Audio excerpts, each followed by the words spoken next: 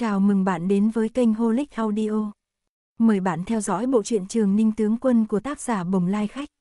Nếu yêu thích video hãy nhấn theo dõi kênh và để lại bình luận bên dưới nhé. chương 16 Mong nhiếp chính vương hiểu cho. Bàn tay tinh khiết như ngọc, khớp xương đều đặn đâu ra đấy, ngày thường hẳn tốt lành như chủ của nó, giờ phút này lòng bàn tay mở lên, ngón tay hơi dài mở ra tự nhiên, dừng trước mặt Khương Hàm Nguyên, kiên nhẫn chờ cô đáp lại. Khương Hàm Nguyên chậm rãi đứng thẳng người, thu lại ánh mắt từ bàn tay chuyển đến người ngoài xe. Y vẫn chăm chú nhìn nàng từ đầu, đến khi hai người bốn mắt chạm nhau lần nữa, trên mặt Y lộ ra vẻ mỉm cười, gật nhẹ, là chào hỏi. Khương Hàm Nguyên không cười đáp, song cũng không để Y chờ quá lâu. Trong nhiều ánh mắt chằm chằm ở ngoài xe phóng đến, từ từ, cô đưa tay vừa buông chủy thủ kia của mình sang phía Y. Y liền khép năm ngón tay, nhẹ nhàng cầm bàn tay cô đáp lại, dắt cô xuống địch xa. Bàn tay của Khương Hàm Nguyên là bàn tay thô kịch, chai sần từ ngón đến bàn. Lại bị đối phương nắm chặt, lòng bàn tay ngón tay hai người không thể tránh chạm vào nhau, cô mơ hồ cảm giác được rõ ràng làn da ấm áp từ lòng bàn tay nam tử này. Điều đó khiến cô khó chịu. Chân đạp đất, cô liền bình tĩnh hơi tựa qua, dưới tay áo hai người chỉ ra vẻ cầm tay, tự nhiên cùng tách ra. Tất cả đều tự nhiên, y cũng thu hồi tay mình, lập tức hơi nghiêng mặt nhìn cô, thấp giọng nhắc nhở bậc thang phía trước, cứ thế, dẫn cô, bước vào cổng chính phủ nhiếp chính kỳ vương. Việc ngoài ý muốn xảy ra một chốc trước, như một hòn đá rơi xuống mặt hồ rộng lớn, chỉ xôn xao rối loạn nho nhỏ cảnh cửa chính, rất nhanh không còn dấu vết, như chưa từng phát sinh. Hôn lễ tiến hành theo trình tự đã định, long trọng mà trang nghiêm, cuối cùng, hai người được dẫn vào tân phòng, lễ tán dâng lên rượu lễ hợp cần. Đây là bước quan trọng nhất trong hôn lễ, cũng được coi trọng nhất. Bình đựng rượu cho lễ hợp cần một đôi được khắc bằng bạch ngọc, cao túc tương liên, giữa cặp chén còn có huyền điều đậu trên lưng thủy thú, mọi vật chúc điềm lành đều có dáng vẻ trang nghiêm, hai chén ôm lấy nhau chặt chẽ không có khe hở, lẳng lặng đặt trên khay trải gấm. Y đưa hai tay bưng chén bên trái trước, hai tay trong tay áo lễ phục dơ ngang, động tác tiêu chuẩn mà yêu nhã từ từ nâng lên, cuối cùng dừng ngang ngực, ánh mắt lập tức nhìn cô dâu đối diện, đợi cô nâng chén. Khương Hàm Nguyên đưa mắt nhìn chén rượu còn lại. Vốn là nam nữ khách ở trời nam đất bắc xa lạ, uống chén rượu này, từ đây liền chung một thể, cùng tôn ti, tương thân ái, bất tương ly sao. Tạm truyền, cùng địa vị sang hèn, yêu thương nhau, không chia rời. Cô duỗi hai tay, cũng vững vàng bưng chén ngọc chuẩn bị cho mình, giống như người nâng tay kia, ngước mắt bình tĩnh đối mặt với ánh mắt người đàn ông đối diện, trong tiếng tán dương ca tụng, cùng y hành lễ với nhau, lập tức đưa chén bên môi, một ngụm hết sạch. Buông chén ngọc hợp cần, đến tận đây, hai người kết thành vợ chồng. Lễ quan rời khỏi, người hầu buông từng tấm màn tre, để lại tân nhân ở lại chỗ sâu trong phòng đêm nay, lập tức lặng yên lui ra ngoài, khép kín cửa. Màn trướng lớp lớp rủ sâu xuống, phía mặt tường đối diện giường bày một cây giá đỡ đèn mạ vàng xoắn tròn, trên đốt đầy nến đỏ, sáng rực, cả phòng thép vàng tranh nhau chiếu rọi, chiếu lên hai người còn lại trước giường. Hai người vẫn giữ nguyên dáng vẻ khi lễ tán vừa rời khỏi, cách nhau một cánh tay. Sau lưng, bóng hai người bị ánh nến hắt lên màn đỏ như một bức họa được vẽ sinh động trên tường, không nhúc nhích. Mới đầu không ai nói gì, im ắng, không chút tiếng động, bỗng, một ngọn nến đỏ phát nổ hoa. Cùng với tiếng tí tách, ánh nến loáng lung lay. Bóng nam tử cũng nhúc nhích theo. Y quay lại, nhìn người bên cạnh. Hà Thị Lang đưa nàng khổ cực một đường, thật sự đã nhọc nàng, hôm nay lại nhiều việc, chắc hẳn nàng đã mệt mỏi, hay nghỉ ngơi sớm đi. Y mở miệng, phá vỡ im lặng trước, nói với cô, vẻ mặt cực kỳ tự nhiên, giọng nói vô cùng ôn hòa. Nói xong y đứng lên, đi đến trước khung treo áo mũ bên giường, đưa lưng về phía cô, hơi cúi đầu, bắt đầu cởi đai lưng bên hông mình. Theo động tác của y, trong phòng yên tĩnh vang lên tiếng sột soạt nhẹ nhàng của y phục và mũ đội nhẹ chạm nhau. Điện hạ, ta có chuyện muốn nói. Thúc thần huy tháo đai lưng xong, đưa tay đang định treo lên, chợt nghe giọng nói sau lưng. Y dừng tay, quay lại, thấy cô đã đứng lên, đôi mắt nhìn mình. Trên mặt y cũng chẳng có vẻ gì khác thường, chỉ ra hiệu cô chờ một chốc, thắt lại đai lưng vừa cởi, tạm sửa sang lại y phục, cả người chỉnh tề rồi mới xoay người về phía cô, mặt chứa ý cười. Chuyện gì, vì sao Điện Hạ chọn ta làm phi? Khương Hàm Nguyên hỏi. Ánh mắt y khẽ nhúc nhích, nhìn cô, không trả lời ngay. Nếu Điện Hạ không tiện, không cần trả lời. Ta có mấy lời, muốn nói rõ với điện hạ, cũng vậy thôi. Cô tiếp tục. Cha, dĩ nhiên, gồm cả ta, xưa nay chưa từng có nửa phần bất chung với triều đình. Từ trước đã thế, hiện giờ, sau này, cũng sẽ như thế. Nay ta hổ thẹn ngồi vị trí nhiếp chính vương phi, thiên ý và kỳ vọng của điện hạ ngài, cha ta và ta đều rõ, khắc trong tâm khảm. Đất nước còn tổn thương thiếu thốn, đến nay chưa được bồi dưỡng. Người nhà họ Khương thân là võ tướng, lại may mắn gặp minh chủ, dù lấy thân báo quốc, cũng sẽ không. Tiếc, vì thế, mong nhiếp chính vương hiểu cho. Giọng điệu cô bình tĩnh, vẻ mặt thản nhiên. Nghe cô nói, ý cười đang ngậm trên mặt y biến mất, thần sắc chuyển sang nghiêm túc, mắt nhìn thẳng mặt cô.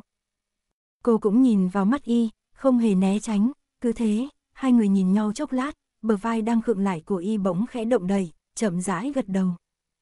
Tốt lắm, ta sẽ trình lòng trung thành của cha con hai người lên bệ hạ. Cách y nói chuyện mang theo mấy phần giọng điệu vẫn nói với đại thần thường ngày. Mặt tướng thay cha đa tạ nhiếp chính vương. Khương Hàm Nguyên thi lễ đầy đủ trịnh trọng với y. Y nhìn cô, khóe môi giật giật, hắn như cười, định đáp lại, sau đó vẫn đứng tại chỗ, không nói gì, cũng không tiếp tục động tác tháo thắt lưng cởi đồ một chốc trước. Cô cũng bất động, thi lễ xong, đứng thẳng trước giường, như ban nãy. Cứ thế hai người đứng đối im đối diện nhau, bỗng hình như có một luồng gió ngầm len lỏi từ gian ngoài vào, xuyên qua màn trướng dày đặc vào trong phòng, trêu nến hỉ nhảy nhót, bóng hai người in trên màn gấm cũng khẽ động theo. Bầu không khí trong phòng bỗng như tăng thêm mấy phần xấu hổ. Ánh mắt y lướt qua chăn mền gấm trên giường phía sau cô, hắng giọng, lại mở miệng. Khương Thị, vậy. Y thoáng ngừng một lát. Nghỉ ngơi. Y nhìn sâu về phía cô, giọng mang theo mấy phần hỏi ý, xong lại không cần cô trả lời, hỏi xong bèn không nói gì thêm, yên lặng xoay người, lại đưa lưng về phía cô bắt đầu cởi áo tháo đai. Chỉ là lần này, không biết sao, hay là do đai lưng bị kẹt, quá trình không thuận mấy, hồi lâu, đai lưng hoa văn ngọc mai mới cởi khỏi người y. Y một tay cầm đai treo lên kệ, lại cúi xuống từ từ cởi lớp y phục ngoài cùng, lúc này, nghe một tiếng cẩn thận gõ cửa rất nhỏ ở gian ngoài truyền vào. Có chuyện gì? Y ngừng tay, quay đầu, lên tiếng. Đến gõ cửa là Lý Tường Xuân. Khởi bẩm điện hạ và vương phi, bệ hạ đến, người đang ở bên ngoài. Lão thái giám nói ngoài cửa. Đến lúc này cả người y như được thả lỏng mắt thường cũng thấy được, nhanh nhẹn sửa lại y phục, kéo đai lưng buộc lại rất nhanh, lập tức xoay sang cô giải thích với giọng mang vài phần áy náy. Hẳn là bệ hạ nghe nói đêm nay xảy ra chuyện bất ngờ, chờ không đặng mới đích thân đến. Ta ra xem sao. Vừa dứt lời, thần sắc đã khôi phục lại vẻ trầm tĩnh nhất quán của y, cất bước ra ngoài, đi vài bước, bỗng dừng lại, lại nhìn cô. Khương Thị, chắc hẳn nàng đã mệt mỏi, không cần chờ ta, tự nghỉ ngơi đi. Bóng y biến mất sau mấy lớp vải màn huân đỏ, cùng với tiếng đóng mở cửa rất nhỏ, bước chân dần xa. Đúng như lời thúc thận huy, thiếu đế thúc tiền vì chuyện bất ngờ phát sinh ở cửa chính phủ nhiếp chính vương đêm nay mà đến. Cậu đang ở trong cung, vừa nghe chuyện, tức giận tại chỗ, tính tình nóng vội nên chẳng kịp chờ đến sáng mai, lập tức xuất cung thẳng đến phủ nhiếp chính vương. Lý Tường Xuân đi theo thúc thận huy ra ngoài, thấp giọng cáo lỗi không ngừng. Lão nô vô năng, thật sự khuyên bệ hạ không được. Nếu lão nô mà còn không đến mời điện hạ, bệ hạ muốn tự vào. Cặp mắt thúc thần huy nhìn thẳng, không đáp, rất nhanh, chuyển đến chiêu cách đường nơi thiếu đế đang chờ. Đây là đường viện bình thường y dùng làm nơi tiếp khách, chưa cho phép, người ngoài không thể vào, nên giờ phút này, dù hai cánh cửa giữa hai cột thông vào bên trong đã mở, Lưu Hướng vẫn không dám đi vào, dẫn người chờ ở hành lang gần đó dưới bậc cấp. Đêm nay ông đã tra hỏi tên thích khách xong. Gã lùn đúng thật là tử sĩ, sau khi bị bắt định cắn vỡ thuốc độc giấu trong miệng tự sát, nào trốn qua mắt Lưu Hướng được, bóp cầm lấy thuốc độc, sau đó tự mình ta hỏi, áp dụng cực hình, không ngờ gã lùn đúng là thiên lung địa ách sao, không thu hoạch được gì. Cùng lúc đó, người thiên môn ti ngầm đi tra hỏi kỹ phường đông đúc của Trường An cũng không hiệu quả. Chưa có ai từng gặp gã lùn này trước đó. Kết quả cũng không có giá trị nhiều, cộng thêm đêm nay lại là đêm động phòng của nhiếp chính vương và vương phi, bọn lưu hướng Trần Luân không dám đến quấy nhiễu, định mai gặp mặt sẽ bẩm báo. Không ngờ thiếu đế nhận được tin, triệu ông vào cung, vặn hỏi một phen, lửa giận ngút trời, trực tiếp xuất cung suốt đêm đến đây. Lưu hướng nào dám ngăn cản hoàng đế, đành theo sau, lúc này đang đứng bên ngoài đường, xa xa nhìn thấy nhiếp chính vương một thân lễ phục đi tới, vội nhanh bước đón tiếp. Điện hạ, bệ hạ. Thúc Thận Huy không chờ ông nói xong, khoát tay áo, lên bậc thềm, vào chiêu cách đường.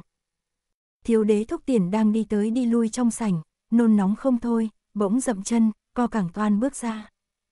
Tiểu hầu trương bảo trong vương phủ, đang xoay người rụt cổ nấp một xó cạnh cửa, ngó thấy thiếu đế trong sảnh toan bước ra cửa như định trực tiếp xông vào tân phòng bên kia, vội vàng nhảy ra, quỳ thụp gối trước ngạch cửa.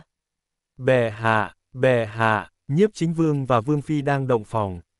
Thiếu đế không hề đề phòng tự dưng thấy cái bóng như con khỉ đột sồ ra ngoài cửa, giật mình kêu lên, nhìn kỹ, phát hỏa, nhấc chân toàn đạp tới, sắp đạp tới ngực Trương Bảo thì cuối cùng gượng dừng lại, ngừng đoạn, buông xuống.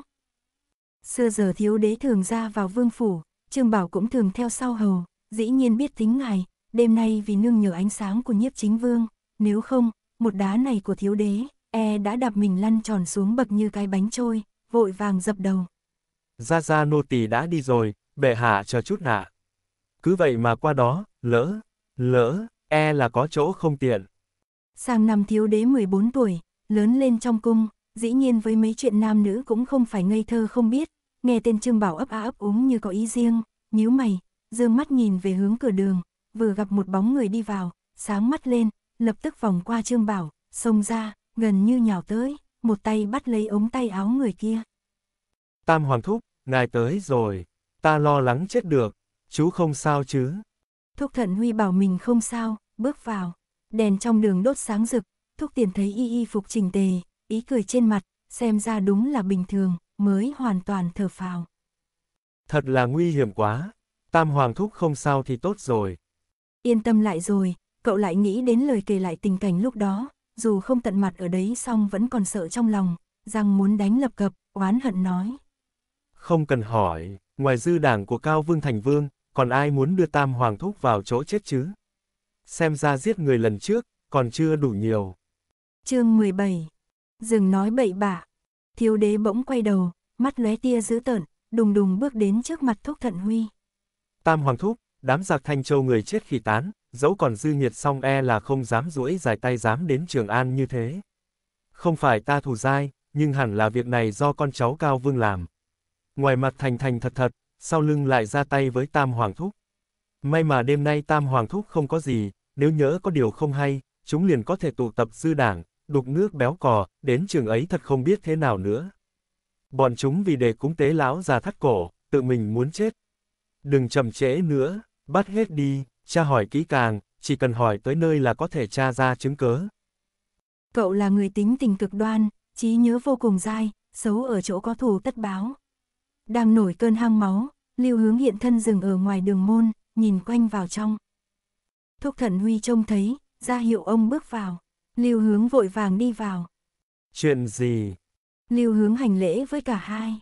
Bệ hạ, nhiếp chính vương điện hạ, mới vừa nhận được tin, linh thọ quận vương đột nhiên phát điên ạ. Thiếu đế. Hở. Lên, há hốc miệng to đến mức có thể nhét cả quả trứng. Cái gì, phát điên? Cặp mắt cậu trợn to, quái lạ mà bật thốt. Lưu hướng gật đầu. Bẩm bệ hạ, nghe nói là điên rồi ạ. Đàn bà trốn hậu viện của Cao Vương đông đảo, song nối dòng thì lại đơn bạc, nghe nói vì bị thương xưa kia có tổn hại, và cả chuyện xấu ngầm, nên chỉ có mỗi một mụn con trai thành niên, chính là Linh Thọ quận Vương. Thúc Thận Huy nhìn ông. Xảy ra chuyện gì? Lưu hướng bèn bẩm mấy tin vừa nhận được. Đêm nay khi phía Linh Thọ quận Vương biết tin nhiếp chính Vương gặp chuyện, hai mắt đăm đăm, mất hồn mất vía, tự nhốt mình trong phòng, người nhà cảm thấy không đúng, xông vào bèn phát hiện ông ta đã treo cổ lên xà nhà. Tháo được xuống, cứu được người, có điều lúc tỉnh lại, nói năng loạn xạ, thấy đúng là đã điên loạn mất tâm trí. Thiếu đế kinh ngạc xong, hừ lạnh. Ta thấy là có tật giận mình, cố ý giả điên giả ngốc, muốn thoát tội ấy. Lưu hướng cúi đầu. Vi thần không dám khẳng định. Tin tức này thật ngoài ý muốn, lúc ông vừa nghe thủ hạ báo cũng thấy không thể tưởng tượng. Nhưng nghĩ lại, dường như cũng có manh mối. Sau cái chết bất đắc kỳ tử của Cao Vương, theo mật thám quan sát cho biết, Linh Thỏ quận Vương đóng cửa từ chối tiếp khách, đến nay chưa từng bước chân ra khỏi cửa. Nghe nói hoảng sợ không chịu nổi, ngày đêm không yên giấc, hễ nghe ngoài cửa có tiếng giống như khóa sắt vòng khoen thì rụng rời, run rẩy. Tháng trước ngã bệnh, Thái y xem bệnh nhiều lần xong mãi không thấy khởi sắc. Đêm nay đột nhiên xảy ra chuyện lớn như vậy, nếu y không phải bị thiếu đế nói chúng, giả ngây giả dại muốn thoát tội, thì chỉ có thể là sợ hãi quá độ, tâm trí mơ hồ thật sự. Tam Hoàng Thúc, chắc hẳn là ổng giả điên, còn con trai ông ta nữa, không phải rất cản rỡ sao, đến cống phẩm đưa vào cung còn cản được. Đêm nay ngày gặp chuyện, nhất định bọn chúng không tránh khỏi có liên quan. Thiếu đế quay sang lưu hướng. Đi, lập tức bắt cha con chúng, để chấm xem ông ấy vờ điên thế nào. Lưu hướng giả trong miệng, còn mắt trộm ngó nhiếp chính vương. Thúc thần huy trầm ngâm. Bệ hạ, không cần phải vội, cho là thật sự có liên quan thì người cũng chạy không thoát. Nếu người đã không ổn, ngại gì không gọi Thái Y đi xem một lần, xem đến cùng tình huống thế nào rồi bàn cũng không muộn. Thiếu đế có vẻ không cam lòng xong cũng nghe lời. Thôi được, vậy cứ nghe Tam Hoàng Thúc, ta xem ông ta có thể giả bộ đến khi nào. Lưu hướng được lời, đang định ra ngoài xử lý, chợt nghe nhiếp chính vương gọi giật. Ông cho người truyền lời đến Lan Vinh, bảo ông ấy dẫn Thái Y sang, bảo là bệ hạ quan tâm, qua đấy, xem đến cùng là thế nào. Lan Vinh là anh trai của Lan Thái Hậu, cậu của thiếu đế, vừa được đề bạt lên giữ chức trưởng địa môn ti không lâu, cùng với Trần Luân xem như là phụ tá đắc lực của nhiếp chính vương. Mà luận bối phận của quận vương, là chú của thiếu đế. Cho Lan Vinh đi thăm bệnh, không còn ai tốt hơn. Thiếu đế vui vẻ nói. Đúng đúng đúng, đúng là tam hoàng thúc nghĩ chu đáo, an bài tốt lắm. Cứu cứu kiến thức rộng rãi, chắc chắn sẽ không để ông ta hồ đồ. Nhiếp chính vương cười nhẹ, ra hiệu lưu hướng đi làm việc, đợi lưu hướng quay đi mới xoay sang thiếu đế. Bệ hạ, không còn sớm, thần đưa người hồi cung. Nếu không về, để Thái hậu biết được, e là bà sẽ lo lắng. Đêm nay lúc thúc tiền ra ngoài phần vì lòng đầy sốt ruột lo âu, phần vì hận cả nhà cao vương muốn điên, đơn giản không muốn chậm một khắc, một lòng muốn bắt người, còn giờ đây tâm tình khác biệt rất lớn, đâu chịu cứ thế mà về. Không sao không sao, mẫu hậu thường xuyên dạy ta, phải nghe lời tam hoàng thúc, gần gũi nhiều hơn, đêm nay xảy ra chuyện thế này, ta đến thăm tam hoàng thúc, bà mà biết, khích lệ còn không kịp, lo lắng gì chứ. Miệng thì nói, đầu thì xoay sang nhìn về hướng tân phòng. Tam hoàng thúc, Tiến Nhi cũng đã đến rồi, không chào hoàng thầm một tiếng cứ thế mà đi lẽ nào không phải thất lễ sao? Không phải ngài từng nói, đối đãi với ngài thế nào thì sẽ đối đãi với thím thế đó. Ngài để ta chào thím một tiếng, xong xuôi, ta không nói hai lời, lập tức về cung. Tuy ngày mai là có thể gặp con gái Khương gia rồi, song đối với nữ tướng quân, cậu thật sự hiếu kỳ vô cùng, người cũng đã đến, hơn nữa gần trong gang tấc, không lập tức ngó cái, sao mà cam tâm. Thúc Thận Huy thấy tay cháu không đi, còn ăn nói lý lẽ hùng hồn cũng hơi đau đầu, suy nghĩ một chút bèn gọi Trương Bảo tới dặn dò, Trương Bảo thưa vâng lui ra, co cẳng chạy đến tân phòng. Trước kia chỗ ngủ nhiếp chính vương không xa nơi này, ở giản Nguyệt Hiên phía sau chiêu cách đường, y khá là vừa ý, đã ở nhiều năm. Giờ mới cưới vợ, Trương Bảo cứ nghĩ sẽ lập phòng cưới ở giản Nguyệt Hiên, ai ngờ đổi chỗ, sang một chỗ phía đông vương phủ gọi là phồn chỉ viện. Dĩ nhiên kiến trúc nơi đó cũng đẹp, trước đình sau vườn, về diện tích và mức độ xa xỉ bài trí thậm chí còn vượt giản Nguyệt Hiên, đúng là cũng thích hợp dùng làm tân phòng, song bỏ trống đã nhiều năm, hai nơi cách nhau hơi xa, chẳng những cách hai bức tường viện, còn phải đi qua một vườn hồ. Từ đầu này đến đầu kia nếu không chạy, vòng đi vòng về e là còn lâu hơn một chung trà. Trường Bảo sợ để thiếu đế đợi lâu, nhanh chân chạy vội, một hơi chạy đến phồn chỉ viện. Trong tân phòng, sau khi Thúc Thận Huy rời đi, dĩ nhiên Khương Hàm Nguyên cũng chưa nghỉ ngơi, gỡ mũ đội đầu, đứng trước cửa sổ, mở cửa ngắm bên ngoài.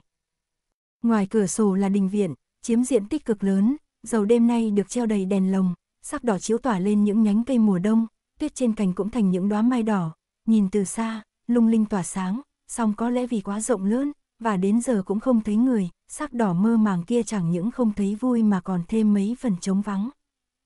Bỗng nhiên, cô quay lại nhìn gian ngoài, đợt một chốc rồi xoay người qua mấy lớp màn dày, mở cửa. Quả nhiên, một người dáng vẻ như tiểu hầu đang đứng trước cửa, giơ một tay định gõ rồi thôi, thở phì phò. Vừa rồi cô cảm giác được tiếng hơi thở ẩn hiện từ ngoài cửa này, đợi một lát rồi dứt khoát tự qua mở cửa. Một chốc trước Trương Bảo đã đến nơi, đưa tay lên định gõ cửa, dừng lại, định gõ cửa, lại dừng lại, khoa tay ước chừng xem nên tìm cách nào gõ cửa, để vị vương phi hiện giờ đang ngồi trong kia đợi nhiếp chính vương quay về động phòng sẽ không thấy mình đường đột đáng ghét. Đang tính toán, thình lình cửa mở, dương mắt thấy chính nữ tướng quân ra mở cửa, người đứng bên trong nhìn mình, lòng chợt hoảng, vội rút tay về, lui lại khom người. Khởi bẩm Vương Phi, là Điện Hạ bảo nô tỳ đến. Bệ Hạ muốn gặp mặt Vương Phi, Điện Hạ sai nô tỳ đến hỏi một tiếng xem Vương Phi có tiện không. Nếu tiện, ngài sẽ đưa bệ Hạ đến đây. Cách đây không xa có chính phòng, phiền Vương Phi rời bước đến đó trước. Trương Bảo truyền lời xong, cúi đầu cụp mắt, không dám nhìn thẳng, lòng tràn ngập nỗi kính sợ vị nữ tướng quân này. Cũng chẳng phải bề ngoài nữ tướng quân dọa người hay là khí thế ngút trời làm cậu chàng khiếp đảm. Mà ngược lại, đêm nay lần đầu tiên nhìn thấy, tên tiểu hầu cũng xem như từng thấy qua chuyện lớn chuyện nhỏ các thứ cực kỳ bất ngờ. Trước đây từng nghe nhiều tin đồn liên quan tới nữ tướng quân, khó tránh khỏi có tưởng tượng sẵn trong đầu sao, lại không ngờ khi mới nhìn nữ tướng quân cũng chẳng khác một cô gái bình thường là mấy. Không chỉ thế, ngài ấy cũng chẳng mày rậm mắt to như Trương Bảo Tưởng. Mắt mũi nữ tướng quân thật đẹp, mi mắt như hai hàng đuôi phượng, khoe mắt một đường đậm quét lên, thẳng như bướm bay. Sao nguyên gốc, tiên nhập phi chủ, vào trước là chủ.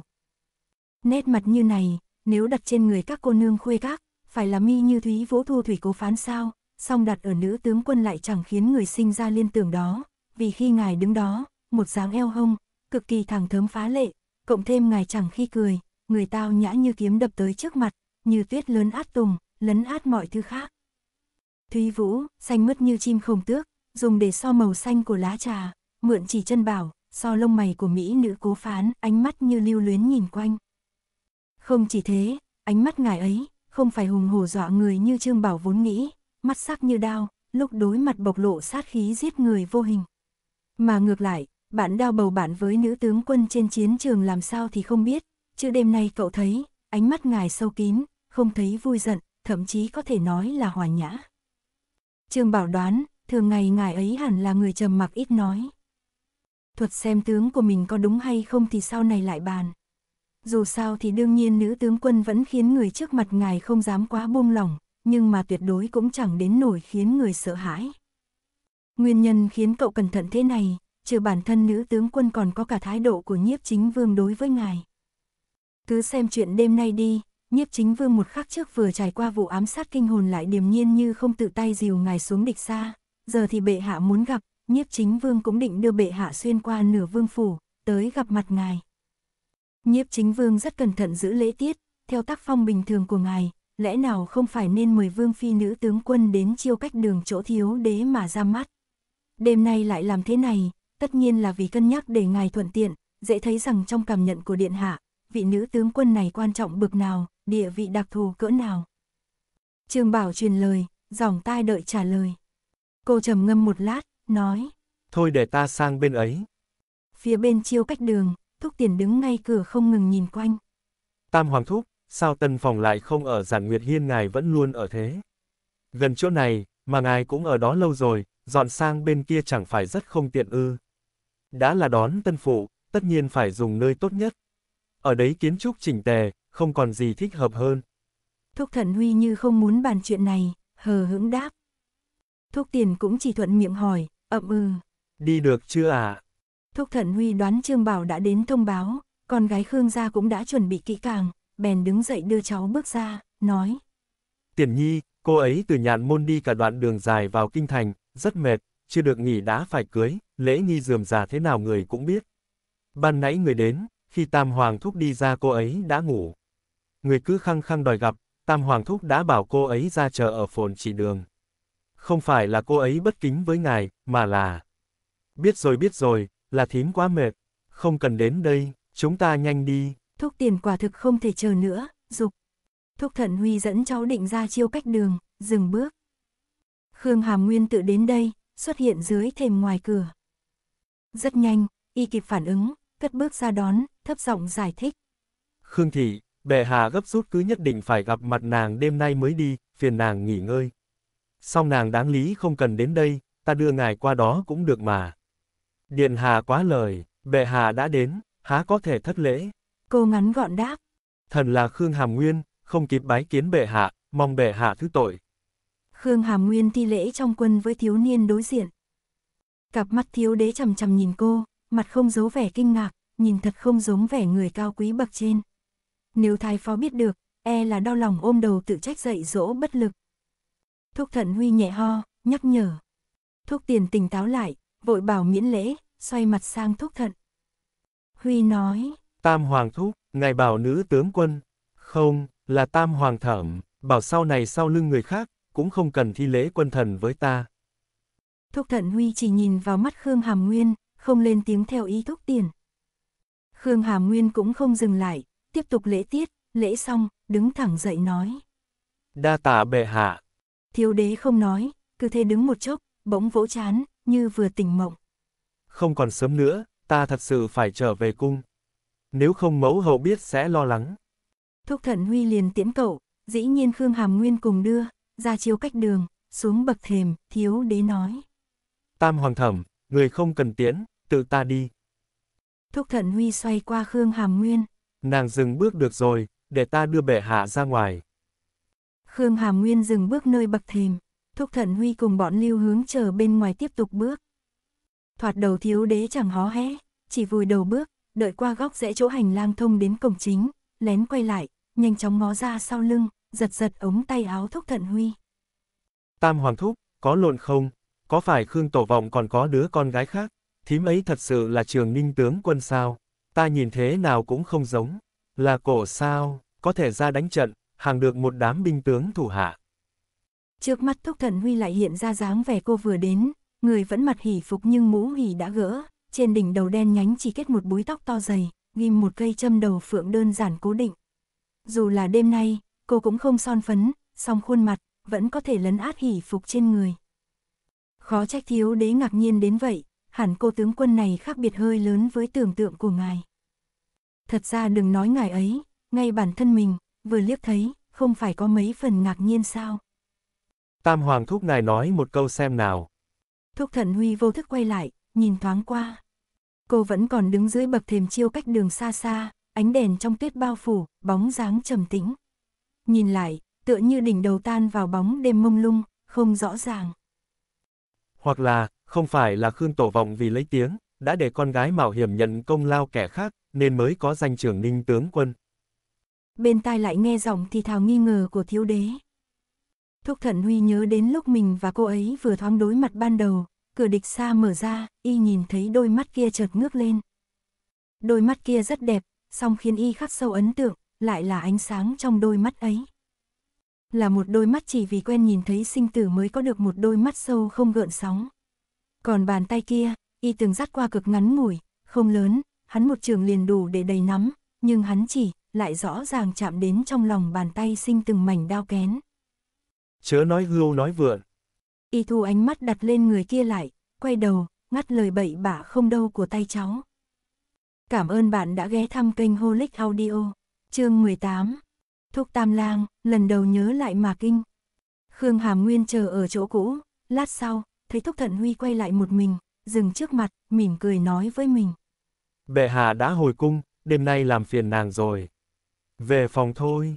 Hai người quay về tân phòng, sóng vai cùng nhau nhưng hơi cách một khoảng, đi qua một khu vườn, một bức tường bao, rồi lại một khu vườn, một bức tường bao, cả đoạn đường từ đầu đến cuối không nói gì, cuối cùng lúc ngang qua chỗ chỉ viên sân vườn có hồ nước, y hơi nghiêng mặt qua, lặng lẽ liếc cô, thấy cặp mắt cô nhìn thẳng phía trước, bỗng mở miệng, chỉ vào giới thiệu. Chỉ viên này, giờ tuy ngắm không đẹp mấy, song đợi sắc trời ấm lên, tháng 6 tháng 7, hoa sen đương mùa, hương thơm ngào ngạt, sẽ mang mấy phần nét đẹp giang nam. Nếu nàng thích, còn có thể trèo thuyền du ngoạn đấy. Khương Hàm Nguyên quay lại, ngắm ao nước lớn đen tui chẳng thấy rõ gì, ở một tiếng. Y như đang định nói tiếp, thấy cô có vẻ chẳng hứng thú lắm, lại ngậm miệng. Cứ thế, hai người tiếp tục yên lặng đi qua chỉ viên, rồi lại tới một hành lang, quay về tân phòng. Đóng cửa, đi qua gian ngoài, vào bên trong, cuối cùng, đã về nơi bắt đầu. Có điều, có lẽ đi về một vòng xong, cảm giác xa lạ ban đầu kia hình như đã phai bớt, thần sắc y đã khôi phục tự nhiên, dùng giọng chứa mấy phần ấy náy mỉm cười bảo cô. Đêm nay là tân hôn đôi ta mà lại dày vò thế này, thật không thể ngờ. Làm khó cho nàng rồi, không còn sớm nữa, nghỉ ngơi thôi. Rồi lại bước đến chỗ treo mũ áo lần nữa, lần thứ ba đêm nay, cởi thắt lưng. Lần này lại thuận lợi, tháo thắt lưng rất nhanh, cởi lớp áo ngoài, đến khi chỉ còn lớp quần áo trong, y thoáng xoay sang liếc cô, thấy cô vẫn đứng thẳng tắp, như đang nhìn mình, xong nhìn lại, ánh mắt kia dường như cũng chẳng đặt nơi mình mà như đang xuất thần, ngẫm nghĩ, đi đến chỗ cô, đứng trước mặt cô cùng đối mặt, chỉ cách nhau chưa quá một khuỷu tay. Đây đúng là giây phút hai người gần nhau nhất, kể từ khi gặp mặt đêm nay. Theo tiếng bước chân y vừa dừng thì trong phòng cũng trở nên im ắng lần nữa, còn nghe được tiếng hơi thở và tiếng tim nến cháy tí tách, mà hai cái bóng ở màn đỏ chỗ sâu kia dường như thêm mấy phần thân mật. Khương Thị, Y thử thăm dò, nhẹ giọng gọi cô. Đôi mi đang rũ xuống giật giật, cô ngước mắt đáp lại. nếu ban nãy không phải bệ hạ đến, ta có câu muốn cho nàng biết. Y chăm chú nhìn vào mắt cô, tiếp tục nói. Cô vẫn không định lên tiếng, chỉ nhìn Y. Có vẻ Y đã kịp nhận ra tính cô, không cần mở miệng thì không mở miệng, cũng chẳng đợi cô đáp, tự nói tiếp. Bất kể bắt nguồn vì đâu, hôm nay đôi ta đã thành vợ chồng, là chuyện cả đời. Sau này ta tất sẽ kính nàng, nàng muốn gì, chỉ cần ta có thể làm thì ta tất sẽ toại tâm nguyện nàng. Y dùng hai lần chữ. Tất. Chắc chắn, nói với nàng, ngữ điệu rất trịnh trọng. Cả phòng sáng rực ánh nến, Y nói xong, chăm chú nhìn cô, trước sau khuôn mặt vẫn ngậm nụ cười mỉm. Thấy cô vẫn lặng thinh đứng thẳng, trần trừ một chốc, tay khẽ động, rồi, từ từ đưa lên, thăm dò, cuối cùng ngón tay đặt lên cây châm vàng cài trên búi tóc cô. Y muốn tháo tóc giúp cô. Theo cây châm được rút từng tấc từng tấc ra, búi tóc to dày của cô cũng từ từ lỏng lẻo. Y không ngừng lại, tiếp tục từng chút, từ từ rút châm giúp cô dâu. Trên màn đỏ chỗ sâu, bóng hai người trong ánh nến, xem ra, đã dần dần lộ nét kiều diễm, đừng nói chi hình. Đến khi y sắp rút xong cây châm vàng, tóc cô cũng sắp xóa xong, bỗng cô chợt phản ứng, lắc đầu, tránh khỏi tay y, người cũng hơi lùi về một bước. Điện hạ, lời ngài vừa nói, là thật. Cô mở miệng, hỏi. Thúc Thận Huy nhìn cô, chậm rãi thu tay đang bị bỏ rơi đơ giữa không trung, gật đầu. Thế thật đúng lúc, ta có một chuyện, nàng nói đi, ta muốn nhanh chóng quay về nhạn môn. Thái độ trực tiếp của cô, cùng với hành động tránh thoát khỏi tay y làm cơn lúng túng vừa mới giảm đi lại ập lên. Hình như y cũng không bất ngờ với yêu cầu đưa ra, trên mặt vẫn mỉm cười, hơi suy tư rồi sảng khoái gật đầu. Sau một năm, sang năm sẽ bàn lại thì thế nào? Nàng biết đấy, việc thành hôn của hai ta, trên dưới triều đình đều nhìn vào. Một tháng, Khương Hàm Nguyên nói tiếp. Ý cười biến mất nơi bờ môi y, chăm chú nhìn cô. Vẻ mặt cô vẫn tự nhiên. nửa năm đi, nửa năm sau, lại sắp xếp nhé. Y trần trừ một lúc, nhường một bước. Hai tháng, Lần này, dường như y chợt bị cô chọc cười, khẽ lắc đầu, cũng không nói gì, cứ thế nhìn cô. Cô cũng nhìn y, ánh mắt không hề nhượng bộ hay do dự. điện hạ, cưới cũng đã cưới xong, nếu điện hạ cũng tin tưởng cha con ta, ta thấy việc này cũng không phải là không thể. Thân xác này của ta, ở đâu thì có gì liên quan. Huống chi ta vốn là biên tướng, rời kinh còn cần cố kỵ lời ai. Cũng không biết là bị cô thuyết phục, hay là vì sự kiên quyết trong giọng cô, y trầm ngâm, cuối cùng dương mắt nói. Hiện giờ mẫu phi của ta đã về quê cũ tính dưỡng. Vậy đi, tạm thời nàng cứ yên tâm ở lại, đợi vài hôm, chuyện trong kinh ta có chỗ rảnh rỗi, ta sẽ đưa nàng cùng đi thăm bà, xong xuôi, dùng lý do quân tình, nàng trực tiếp về nhạn môn. Thế nào, nàng yên tâm, ta sẽ nhanh chóng sắp xếp, chậm nhất trong vòng 3 tháng, sớm hơn được thì càng tốt, sẽ không làm chậm trễ nàng quá lâu. Y bồi thêm một câu. Kết quả thế này, nói thật là vượt qua mong đợi của Khương Hàm Nguyên. Lúc còn trong địch xa chưa bước vào phòng, cô đã nghĩ mãi đến vấn đề quan trọng nhất đêm nay này. Cô đã dự kiến ít nhất cũng kẹt ở đây nửa năm, giờ rút ngắn một nửa, tâm tình bỗng trở nên vui vẻ, ngó lại người trước mắt này, hình như cũng trở nên hơi thuận mắt. Chỉ cần có thể về, lại mau chóng vậy, chuyện khác cũng không còn gì đáng kể để so. Cô gật đầu. Đồng ý. Lời cô vừa dứt, hai người lại quay về cảnh không lời, mà cũng chẳng thể quay lại cảnh đang giúp châm ban nãy, đứng đối diện một lát, đêm càng thêm khuya không thể tránh, tiếp theo bất kể thế nào đêm tân hôn cũng không vượt qua nổi vấn đề đi ngủ.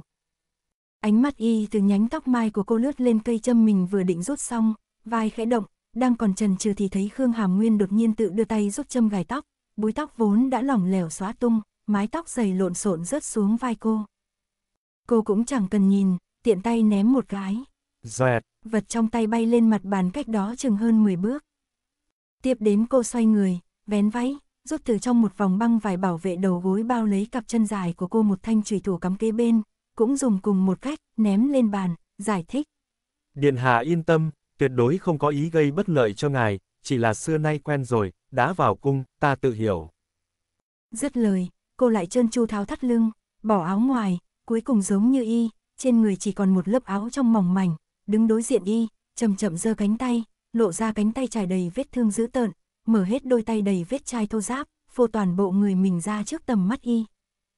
Mới đầu y yên lặng nhìn cô rút châm tháo tóc, rồi thanh thủy thủ cô rút từ trên người, mơ hồ thấy hơi quái lạ thôi, xong tiếp sau cô cởi áo tháo đai lưng, lại giang tay phô cả người ra trước y, cử động tùy tiện, thần sắc y thoáng có vẻ mất tự nhiên. Mặt mũi xấu xí như ta, điện hạ ngài nhìn rõ rồi đó. Ta từ nhỏ lớn lên ở quân doanh vùng biên cương, ngoài cái thân xác là nữ này, thứ khác, đã không khác gì đàn ông. Nếu điện hạ thật sự tình nguyện ngủ chung phòng với ta, ta cũng không ngại. Nói xong, cô đợi câu trả lời của y, y trầm mặc, cô gật nhẹ. Không còn sớm nữa, vậy nghỉ ngơi thôi. Cuối cùng cô nói luôn giúp y, xoay người đi đến trước giường, nằm xuống nhắm mắt luôn, chờ lát, không có động tính, mở mắt, vẫn thấy y đứng nguyên tại chỗ, ngó mình, người không nhúc nhích, vẻ như ngơ ngẩn. Không ngờ rằng dưới lớp ngoài người này lại là tính tình thế kia, dây dưa dài dòng, dề dề già già, cô cảm thấy thật ngoài ý muốn. Như tên này, ở trong thanh mộc doanh của cô, làm chân khuôn vác còn sợ là không đủ lanh lẹ. Nếu điện hạ không có ý này, ta không sao, ta ngủ gian ngoài nhé. Y như thế này, Khương Hàm Nguyên cầu còn không được. Xoay người một phát đã ngồi dậy. Chỗ gần cửa sổ ở gian ngoài, có kê một chiếc giường mỹ nhân, tuy dài hẹp thấp dùng để làm chỗ nghỉ ngơi ban trưa. Xong để một người ngủ cũng dư xài. Không không, nàng hiểu lầm rồi. Đã thành vợ chồng, đây là đạo làm người, huống hồ là ta cầu thân với nàng, sao ta không muốn. Nghỉ ngơi thôi. Y thoáng như vừa bừng tỉnh mộng, lập tức lên tiếng ngăn cản, nói xong bước đến trước giường, đang định ngồi lên, thấy ánh nến đặt sau lưng sáng rực chiếu lên giường trước mặt, soi ra tóc người rõ ràng, dừng lại, lại quay người thả hai mảnh màn treo ở trước giường. Màn trướng nặng nề rủ xuống khép kín, chốc lát ngăn hết ánh sáng bên ngoài. Khoảng không gian chật hẹp bên trong trở nên mờ tối. Khương Thị, nàng nhích người qua chút để ta lên. Y đứng trước giường, thấp giọng nói. Cũng không phải giường không đủ lớn không đủ hai người cùng nằm, mà là cô đang nằm phía ngoài. Đây cũng là thói quen sinh hoạt nhiều năm trong quân doanh của cô. Ban đêm gặp còi khẩn cấp gọi ra chướng là chuyện thường ngày, người ngủ phía ngoài, tiện bề xuống giường. Cô nhìn y chằm chặp, dịch qua một bên, y chầm chậm tháo giày, lên giường, ngồi xuống, mở tấm mền, đắp cho cô trước, đắp cực kỳ kín mít đến cổ, sau đó nhúc nhích người, rồi từ từ, nằm xuống. Ban đầu hai người như đều ngủ thiếp đi, Khương Hàm Nguyên nhắm mắt, thật sự muốn cứ thế mà ngủ. Một lát sau, cảm thấy dưới chân có một bàn tay từ từ duỗi tới mình, bắt đầu lục lọi, tháo dây buộc áo trên của cô. Cô vẫn không nhúc nhích, chờ đợi, lại cảm thấy bàn tay kia dừng ở eo mình một chút, cả buổi trời, mà tháo dây thắt lưng cũng không chót lọt, đến khi cô thật sự không kiên nhẫn được nữa, đẩy tay y ra, tự hai ba phát tháo xong. Người đàn ông bên cạnh lặng im một lát, phủ lên người cô. Khương Hàm Nguyên cực kỳ khó chịu, chịu đựng xúc động muốn đạp y một phát té văng, nhắm mắt, tinh thần bắt đầu chu du. Đầu tiên cô nhớ đến đêm trước hôm xuất phát, lão mama trong thành vân lạc cứ nhất thiết phải đến dặn dò cô chuyện riêng tư, cô cũng chẳng lắng nghe, toàn bộ chỉ nắm một câu chính, nhịn một chút, là qua, sau này rồi sẽ biết niềm vui sướng của đời sống vợ chồng. Tiếp đó, chợt nhớ tới năm mười mấy tuổi vô ý nhìn thấy cảnh ngựa phối trong chuồng ngựa gần quân doanh, lúc ấy không khỏi kinh hãi. Tuyệt đối chưa từng nghĩ, ngựa được phát dục so với bình thường lại chênh lệch đến thế, giữ tợn xấu xí vô cùng. Sau này, cô không còn chút rung động nào. Lúc biên cương không có xung đột và chiến sự, ban đêm, đám đàn ông ban ngày chưa bị luyện binh hao hết tinh lực cùng tụ tập, thô tục gì cũng nói cho được. Lẽ cộng sinh ở trời, vạn vật tương tự, người và ngựa, bản chất có gì khác biệt, bằng. Thôi, không thú vị, không muốn, cô lại đổi qua nghĩ đến việc mình quyết tâm ôm làm những ngày tới. Cứ thế, cũng không biết đã bao lâu, hình như cũng hơi lâu, mà hình như chỉ một chốc, phát hiện y cũng không đi bước tiếp theo, nằm trên người cô, thoạt đầu còn động mấy cái, từ từ, cuối cùng như chết, chưa nói thứ vui sướng vợ chồng gì, nhịn một chút, là qua, gì gì trông mãi mà không đến, không khỏi hồ nghi, mở mắt, đẩy vai y. Ngài mau lên. Cô dục. Y khẽ động, sống lại. Ta, ta có hơi, thật có lỗi với nàng. Nghe giọng Y, như là người trong quân doanh ăn chưa no mà luyện, trột dạ, giọng nói cũng càng ngày càng thấp, cuối cùng. Biến mất, hay là do thực sự khó mở miệng, dừng đoạn. Chi bằng, lần sau. Giọng nói kia đậm ý xấu hổ.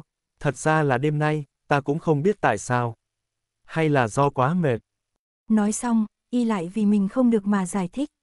Mấy ngày tới, triều đình sẽ cho ta nghỉ phép vì đại hôn, nên dạo rồi việc dồn rất nhiều, còn phải chuẩn bị hôn sự, ta đã mấy đêm liên tiếp chưa được ngủ ngon. Khương Hàm Nguyên hiểu rồi. Vậy cũng tốt hơn là ở trong quân dùng thương lâm trận, còn không nâng nổi thương. Cô đã rất thẳng thắn chủ động đến bước này, y còn không được. Cô tin là y tuyệt đối không phải cố ý, như vậy cuối cùng, đúng là do mình không thể làm y có hứng thú. Trong đầu cô liền hiện ra cái hôm ở trong chùa hộ quốc đã chứng kiến hết cả, nữ lang ôn ra đẹp đến động lòng, nhận thấy, càng như chút được gánh nặng, thậm chí còn thấy hơi thương hại y. Người sống trên đời, đều có đau khổ, người buôn bán nhỏ có bất hạnh của người buôn bán nhỏ, vương công hoàng tộc có bất hạnh của vương công hoàng tộc. Hy sinh của người này thật khiến cô thông cảm, cưới mình đã không tính, còn phải nỗ lực nịnh nọt. Ánh sáng trước mắt chỉ lờ mờ nhưng cũng đủ để thấy rõ người. Cô thấy y cúi đầu nhìn mình, mặt rất xấu hổ, thần sắc xa sút trên trán hình như còn dịn một lớp mồ hôi mỏng. Không sao, chính ta cũng mệt, ngủ thôi. Cô đáp, không quên an ủi một câu. Thấy cô nói vậy, dường như y lại hối hận, trần trừ một lúc. Nàng đợi một lát được chứ? Hay là ta lại đến? Điện hạ. Cuối cùng Khương Hàm Nguyên không nhẫn nại nổi, trực tiếp ngăn cản. Điện hạ thật không miễn cưỡng thế. Ta biết điện hạ đối với ta không hề có ý bất kính. Chỉ cần cho ta mau quay về ta đã cảm kích rất nhiều. Cô thành khẩn, đúng vậy, đây là lời trong lòng cô. Người đàn ông yên lặng xuống khỏi người cô. Khương Hàm Nguyên ổn định, sửa sang lại y phục sộc sạch trên người, chờ mình quay vào trong. Đêm nay không ai nói gì nữa. Cô không biết người bên cạnh cùng mình chung gối ngủ thế nào, còn cô, ôm bầu tâm sự lớn cả đoạn đường, ngủ một giấc trọn vẹn hiếm có, rồi bị tiếng động của người bên cạnh đánh thức. Cô không kén chỗ ngủ, ở đâu cũng ngủ được, nhưng xưa nay ngủ nông, thằng hôm nào không bị ác mộng thì sẽ ngủ ngon, chợt mở mắt, nhìn thấy người bên cạnh từ từ rời gối, vén mền như định lặng lẽ rời giường, chợt thấy cô đã tỉnh, dừng lại, lập tức nói. Trước giờ thì đến tông miếu là được, còn sớm, nàng ngủ thêm chút. Ta có việc, dậy trước. Sắc mặt y thế nào, vì sáng lờ mờ nên Khương Hàm Nguyên cũng không nhìn rõ lắm, nhưng nghe giọng thì khô khốc, còn có mấy phần khàn nghẹn. Chỉ thấy y nói xong xuống giường, đưa lưng về phía cô, mặc y phục rất nhanh, cũng không dừng lại một khắc, sốc màn bước ra. chương 19 Bổn vương có người bạn tốt. Lúc ấy vừa chớm canh năm. Xưa nay nếu nhiếp chính vương ngủ ở vương phủ, bình thường giờ này đã thức dậy, sáng nay vợ chồng mới cưới cũng phải dậy sớm đi tông miếu bái lạy, nên lúc này, hai bên hành lang ngoài cửa, Lý Tường Xuân Trương Bảo và Trang Thị, một viên nữ quan hầu hạ mẹ của Thúc Thận Huy dẫn theo thị nữ các loại, đều đã chờ sẵn. Thấy nhiếp chính vương ra mở cửa, cả đám vào hầu rửa mặt, nhưng không thấy vương phi mới cưới ở gian ngoài. Đêm qua nàng ấy mệt, còn đang ngủ, mama có thể đến trễ chút. Thúc Thận Huy bắt gặp ánh mắt Trang Thị nhìn vào phòng trong, thoáng chần chờ, bèn nói, lời chưa dứt đã nghe tiếng bước chân sau lưng, quay lại, nào ngờ cô đã bước ra. Sáng hôm nay, nói thật, y hoàn toàn chưa thoát ra khỏi bất ngờ to lớn đêm qua, vô thức không muốn giáp mặt cô, càng không tính nhìn vào mắt nhau, thấy cô nhìn mình miễn cưỡng nhẹ gật đầu, lập tức xoay mặt, yên lặng tự rửa mặt. Trang Thái Phi không ở Kinh Thành, chuyện trong Hoàng Cung từ lâu đã không hỏi tới, mối quan tâm duy nhất ở Trường An chính là nhiếp chính vương. Mấy tháng trước, được biết nhiếp chính vương sắp đón nữ tướng quân làm phi, bèn cố ý phái Trang Thị ở cạnh mình nhiều năm về, hầu hạ vị nữ tướng quân vương phi tương lai. Nữ tướng quân không phải cô gái bình thường, sau buổi mới gặp đêm qua càng có ấn tượng đó, đồng thời cảm thấy cũng không dễ tiếp cận, cho nên Trang Thị có phần quan tâm, cũng không rõ bận sau đêm qua nhiếp chính vương và cô ấy ở cùng nhau thế nào.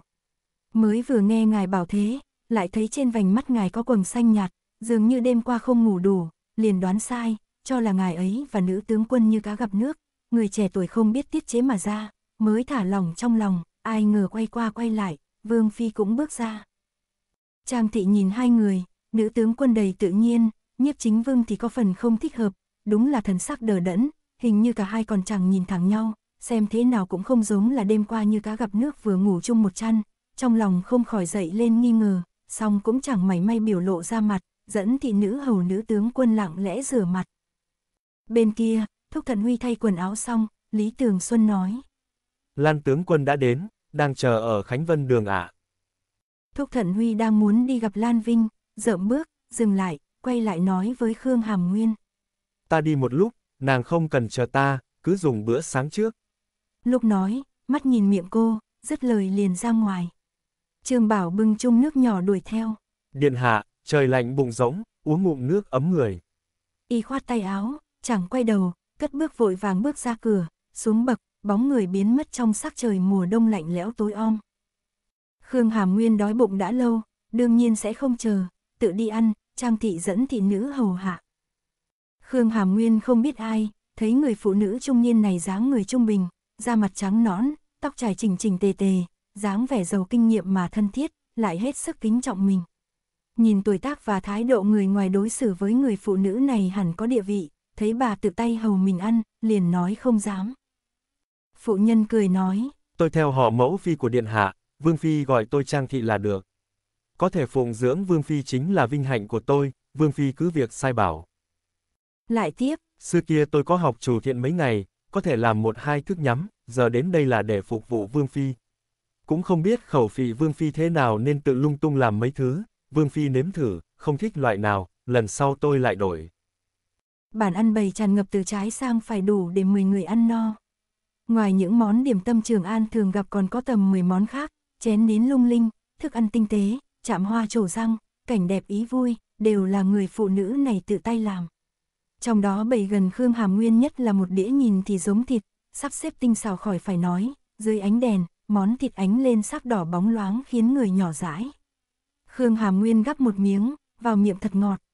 Nhiều năm qua cô và đồng đội trước sau như một ở quân doanh, ăn uống chủ yếu vì mục đích chống lại cái đói và cái lạnh, thức ăn thường cầu thả, có là thịt thì cũng là thịt khối lớn đun như, đa số là khẩu vị rất mặn, thịt ngọt như này đúng là lần đầu nếm được trong đời.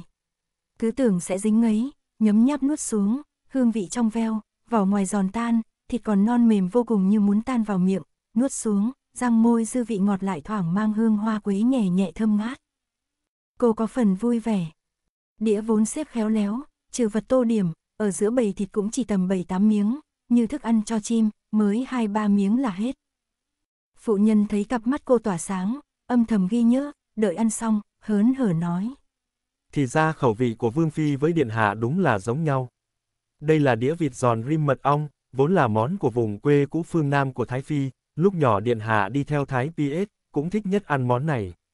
Vốn là dùng thịt ức vịt non thái mỏng, lấy mật hoa ướp ngấm, xuân dùng lan, hạ lấy sen, đông lấy mai, nên dư vị đều có hương hoa song không hoàn toàn giống nhau, hiện giờ có hoa quế nên tôi bèn làm vịt giòn rim mật quế. Vương Phi cũng thích, thật chẳng gì bằng, lần này nguyên liệu không nhiều, lần sau tôi lại làm cho Vương Phi ăn.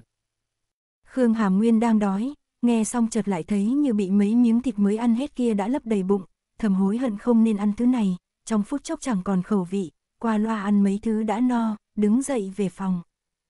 Nhiếp chính vương nào biết đĩa thịt rim mật mình thích ăn cứ thế mà lật đổ khẩu vị tốt của nữ tướng quân, y bên kia trực tiếp đến thẳng Khánh Vân đường dùng để tiếp khách trong vương phủ, Lan Vinh dẫn thái y đến chờ lệnh, đã chờ ở đấy. Lan Vinh mặt mũi ngay thẳng thân thể tráng kiện, dáng vẻ đường đường. Trước kia ông chỉ là một viên quan tán kỵ thường thị sao rảnh rỗi, vì Lan Phi mà phong huyện bá, ấp 500 hộ, không tính là không có quyền thế nhưng cũng không lộ, cộng thêm làm người khiêm tốn hiếm khi ra mặt, trong đám công khanh quý tộc ở Trường An luôn không để người khác chú ý. Mấy năm nay, thời thế xoay vần mới dần dần trở nên nổi bật. Một là vì thân phận cậu của thái tử, hai cũng vì vốn rất có năng lực, có cơ hội thì sẽ từ từ lộ rõ, chưa từng làm việc sai lầm. Đáng quý hơn là, mấy năm qua dù thiếu đế lên ngôi, ông ta cũng chẳng vì địa vị thay đổi mà sinh ra nửa phần kiêu ngạo tự mãn, nói làm đều thêm cẩn thận hơn trước, nên có phần đáng khen. Mấy tháng trước, quan trường trốn kinh đô chấn động do cái chết bất đắc kỳ tử của Cao Vương, ông và phò mã đô úy Trần Luân chia nhau chấp trường hai ti mới của Trường An, chính thức cầm thực quyền trong tay, trở thành phụ tá đắc lực của nhiếp chính vương. Sao tên một chức quan khuyên nhủ, cố vấn hoàng đế. Đêm qua nhận lệnh, không cần báo lại trong đêm mà sáng mai cũng được. Hiển nhiên ông hiểu vì là đêm động phòng của nhiếp chính vương và nữ tướng quân nên ban nãy khi đến đây, ông bảo người thông sự của vương phủ không cần kinh động nhiếp chính vương mà mình tự chờ nơi này. Đợi một hồi lâu, chợt thấy ngoài đường có ánh đèn trao động, tiếp đó, một bóng người xuất hiện dưới bậc thềm còn tờ mờ kia. Nhiếp chính vương đang đi đến đây, Lan Vinh vội vàng bước ra ngoài đường đón, cúi người bái. Nhiếp chính vương thứ tội, vi thần quấy giày nhiếp chính vương nghỉ ngơi. Trông thúc thần huy tinh thần sáng láng, bước vào trong đường, ngồi vào chỗ xong ra hiệu ông cùng ngồi.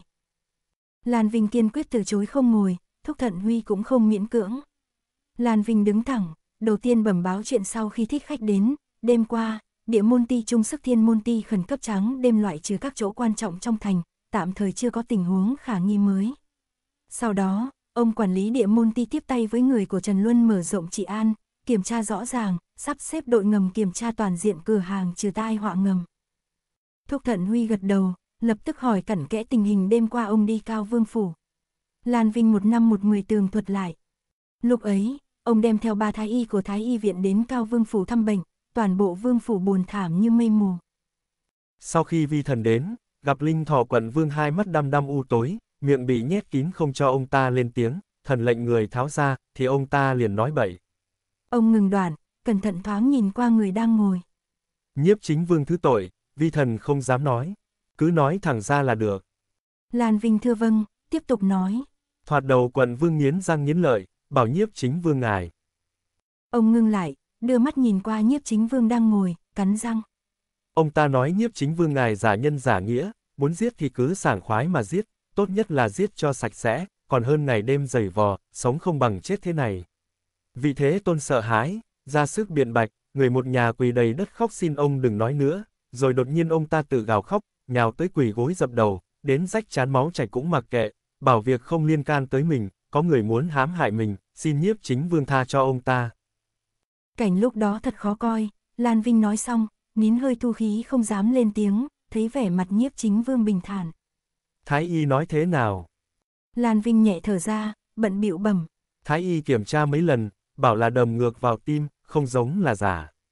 Sợ hỏng việc, lúc ấy vi thần mang đến ba người, Thái y lệnh Hồ Minh, còn có Thái y tả hữu thừa. Sáng nay vi thần cũng đưa Thái y lệnh đến đang ở bên ngoài chờ, nhiếp chính vương có thể tự mình xét hỏi. Lý Tường Xuân truyền người vào. Hồ Minh bài kiến nhiếp chính vương xong đem kết luận trần bệnh đêm qua của mình và cùng hai thừa bẩm một lần, như lời Lan Vinh, quận vương nổi điên không giống là giả. Ân sư của Hồ Minh là một vị hạnh lâm quốc thủ nhiều năm trước vì bệnh mà cáo lão về quê, ông được cặn kẽ chân truyền, y thuật cực kỳ cao siêu, nếu đã dám ra phán đoán chắc chắn như thế đương nhiên sẽ không sai. Thúc Thận Huy cho Thái Y lệnh lui xuống trước, ánh mắt dừng trên mặt của Lan Vinh. Chuyện hồi hôm, ông thấy thế nào? Lan Vinh do dự một chút, cung kính nói. Nhiếp chính vương đã hỏi, vi thần cả gan nghe theo. Với thiền kiến của vi thần, cha con cả nhà quận vương xưa nay cũng không quá tài cán, chẳng qua cáo mượn oai hùm, giờ đều đã bị sợ vỡ mật, cao vương bảo bệnh ra đi cũng chưa lâu, dẫu cho dù có mang hận ý với nhiếp chính vương cũng không dám có động tĩnh lạ nhanh như vậy. Còn đám thành vương, dù vẫn còn cá lọt lưới, vi thần cho rằng, chúng tự bảo vệ mạng trong tối còn không kịp, cũng không ai dám đứng ra coi trời bằng vung thế này. Quận vương không có gan, cũng không giống dư đảng thành vương, vậy có thể là ai? Lan Vinh ngừng đoạn. Trái lại vi thần cảm thấy, có thể là dư nhiệt loạn tấn hoàng phủ thị gây nên, cũng không phải không có khả năng. Lục hoàng tử sĩ thư của nước địch xây dựng Nam Vương Phủ ở quận Yến U Châu, tự mình canh giữ, bắt trước chế độ Hán ta quản dân vùng đó, còn mời chào người Hán theo hàng.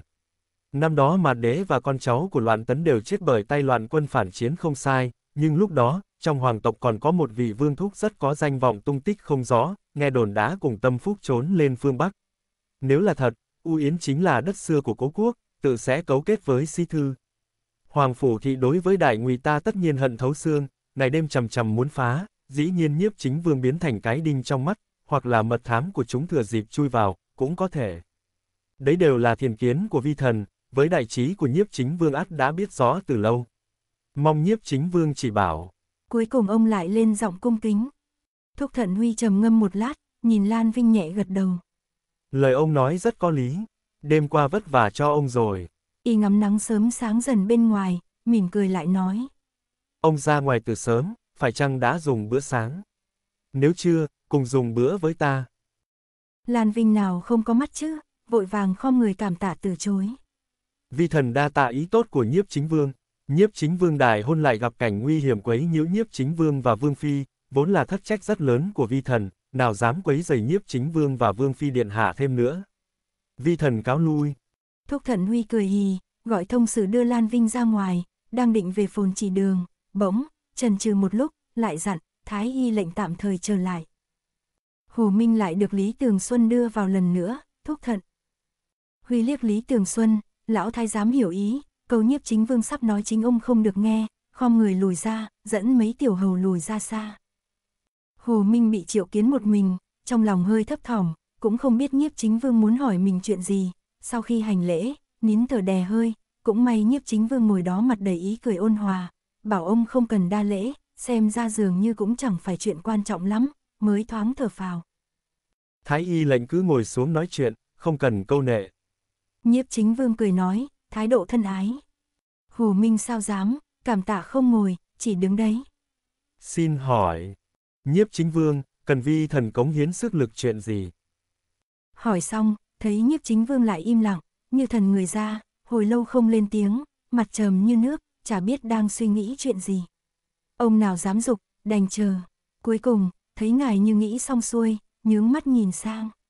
Chuyện bản vương muốn hỏi cũng chẳng phải đại sự gì, chỉ là sáng nay bản vương sẵn gặp ông, nhớ đến, mới thuận miệng hỏi một tiếng. Dạ, dạ, mời nhiếp chính vương nói. Cũng không phải là việc của bản vương, mà là bản vương có một người bạn tốt, xưa nay cùng bản vương không có gì giấu nhau, vài hôm trước, cậu ấy tự đến tìm ta bảo, cậu ấy. Hồ Minh rõ rồi, hẳn là nhiếp chính vương giúp bạn thân hỏi bệnh, bèn triệt để thả lòng thở phào, tập trung lắng nghe, nào ngờ ngài nói đến đây, mới mở đầu, đã ngừng. Điện hạ, người bạn kia của ngài gặp bệnh nan giải chỗ nào thế hạ? Nếu phải, điện hạ cứ nói, vi thần chắc chắn hết lòng giải đáp. Thái y lệnh chờ giây lát, hỏi tới. Nhiếp chính vương lại ngừng đoạn, bỗng khoát tay, trên mặt lại hé ý cười. Thôi, chuyện nhỏ thôi, cậu ta tự hỏi bệnh vẫn tốt hơn. Bản vương không có việc gì nữa, ông đi đi. Hồ Minh không hiểu lắm, song thấy nhiếp chính vương đã nói thế, cũng sẽ chẳng hỏi thêm, đáp vâng, khom người lui ra. Nhiếp chính vương đứng một mình ngoài chiêu cách đường. Một chốc, ngẩng lên thấy sắc trời không ngờ sáng hơn ban nãy đã mấy phần, thời gian dục người, không cho phép y ở mãi chỗ này, đành đè xuống tạp niệm trong lòng, vội về phồn chỉ viện trước. chương 20 Cuối cùng Trang Thị cũng đợi đến nhiếp chính vương về, hầu ăn sáng. Bà là người hầu cận Trang Thái Phi, mấy năm qua đều theo Thái Phi ở tiền đường cạnh Hồ Tây Tử, vừa về Trường An không lâu, Thúc Thận Huy bảo bà không cần theo hầu. Lần này Trang Thị hồi kinh, từ trong miệng Trương Bảo biết được, từ dạo kỳ vương nhiếp chính, không mấy bữa ăn sáng ở vương phủ cho đàng hoàng, gần như đều là ăn đại mấy miếng rồi đi, nghe đau lòng không thôi, có thể có cơ hội hầu y dùng bữa sáng, sao chịu rời đi, cười nói. Cứ để tôi, điện hạ ngồi đi. Thúc Thận Huy rửa tay chỗ thị nữ dâng nước, như thuận miệng hỏi. Vương Phi dùng bữa rồi à? Mới dùng qua. Y chậm chậm thở phào, rửa lau tay xong, nhìn đồ ăn bày đầy bàn trước mặt, suy nghĩ một chút, mỉm cười nhìn Trang Thị nói. Triều đình đề cao tiết kiệm, ta nên đi trước bá quan. Hôm nay Vương Phi mới về, Mama cân nhắc chu đáo, nên là như vậy, có điều, về sau không cần thế này, cô ấy cũng không phải loại người phô trương hào nhoáng. Lại liếc qua tầm đường. Nếu ta có ở trong phủ, không cần ngó ta, mama cứ cho người làm món hợp khẩu vị cô ấy, ta theo. Trang thị cười đáp vâng, chợt nhớ một việc, trần trừ một lúc, lại thấp giọng nói. Điện hạ, sáng nay tôi chuẩn bị món vịt rim mật, theo tôi thấy có chỗ hợp khẩu vị của Vương Phi. Bà ngừng đoạn. Sở dĩ Trang thì kể lại mỗi món này, là vì lúc bà giới thiệu cho nữ tướng quân đã đơn giản bớt, cùng lắm chỉ nghe phong nhã hơn so với món bình thường mấy phần thôi, chứ thực tế rất không đơn giản. Thịt chỉ lấy thịt ức mềm của vịt trắng 3 tháng tuổi, mà vịt cũng không phải vịt thường, từ lúc ấp nở, chỉ nuôi bằng gạo thơm và rau nhút non, uống nước suối ngọt. Gạo thơm suối ngọt thì cũng thôi, không phải không thể được, song rau nhút non chỉ sống ở mỗi phương Nam. Cho nên món ăn từ cố cung của Ngô Việt Trang Thái Phi đến Trường An, giá trị vốn tăng gấp 10 còn chưa có được. Trước kia, vì Trang Thái Phi, để làm món này, võ đế còn lệnh cho chuyên gia tiến cống từ phương Nam, sau Thái Phi nói qua mức phí phạm xa xỉ, không còn dùng món này, xong lại truyền ra ngoài cung, hào môn phú hộ Trường An tranh nhau bắt trước, yến khách dùng món ăn làm vinh, để đạt tiếng thuần khiết, không tiếc vung tiền như rác. Có cầu liền có cung, giới mua bán ở Trường An chuyên hầu các quý nhân nhà giàu dĩ nhiên liền có người đánh mảng này, chuyên cấp vịt trắng. Hiện giờ phương Nam cũng chưa vào xuân, chưa có rau nhút, Trường An bèn lấy rau cải non trồng trong phòng ấm thay rau nhút non nuôi vịt, ngắng đạt tới chất lượng thịt gần với vị vốn có nhất. Song cho dù là đổi sang dùng thức ăn bản địa non nuôi vịt, giá vẫn rất cao, hơn nữa vì cung không đủ cầu, một con 50 lượng bạc, là chi phí sinh hoạt 1-2 năm của nhà nghèo có thể chống đỡ ở Trường An. Sáng nay làm món này, Trang Thị cảm thấy rất hợp khẩu vị nữ tướng quân, nghe nhiếp chính vương nói, mới để một câu. Bà nói xong, thấy nhiếp chính vương lướt mắt qua bàn ăn, không thấy vịt rim, hơi khựng lại, đã rõ ràng, lại ngó qua tầm đường, quay mặt lại. Nàng ấy đã thích, gì cứ bảo người làm là được. Vâng. Trang thị cười đáp. Thúc thần Huy lại ngó sắc trời bên ngoài, ăn ít món, đứng dậy vội về bước đến tầm đường. Khương Hàm Nguyên đã mặc xong lễ phục hôm nay đi bái tông miếu, thấy y bước vào, nhẹ gật đầu với mình, liền rời mắt, biết y không muốn nhìn mình, thức thời bước ra ngoài trước, đứng trước thềm ngoài cửa tầm đường, ngắm tuyết trong đình viện. Một lát sau, sau lưng có tiếng bước chân. Y cũng đã ra đến, thuần y màu hồng nhạt, đai lưng màu đen, từ đầu đến chân cả người trang trọng, thần thái bắt mắt phong độ không cần phải nói, nét mặt cũng cực kỳ nghiêm túc. Lúc ngang qua cô, y thoáng dừng bước. Đi theo ta. Rồi tiếp tục đi tới, mắt nhìn phía trước, cùng người vừa mỉm cười lần đầu đối mặt với cô đêm qua, thật giống hai người. Thật ra trái lại y thế này Khương Hàm Nguyên thấy thoải mái hơn nhiều. Cô nào không biết, bắt đầu từ nụ cười đầu tiên của người đàn ông này khi đưa tay đón mình hạ xuống địch xa, tất cả đều cười ngoài mặt. Cô rất chắc chắn, bởi vì cô đã từng thấy nụ cười của vị An Nhạc Vương 17 tuổi. Khi thiếu niên ấy cười, trong mắt như lấp lánh ánh sáng. Còn nhớ lúc ấy, y ngồi trên lưng ngựa, hơi cúi đầu, cười nhìn về phía cô đang đứng bên hông ngựa, thoảng như trong đôi mắt y, cô nhìn thấy ảnh của chính mình. Một Khương Hàm Nguyên tuổi 13 tuổi tâm linh sinh ra nơi hoang dã cằn cỗi, có lẽ chính là bị ánh lấp lánh trong đôi mắt kia mà thay đổi, nhớ mãi thật lâu, đến nay vẫn chưa quên.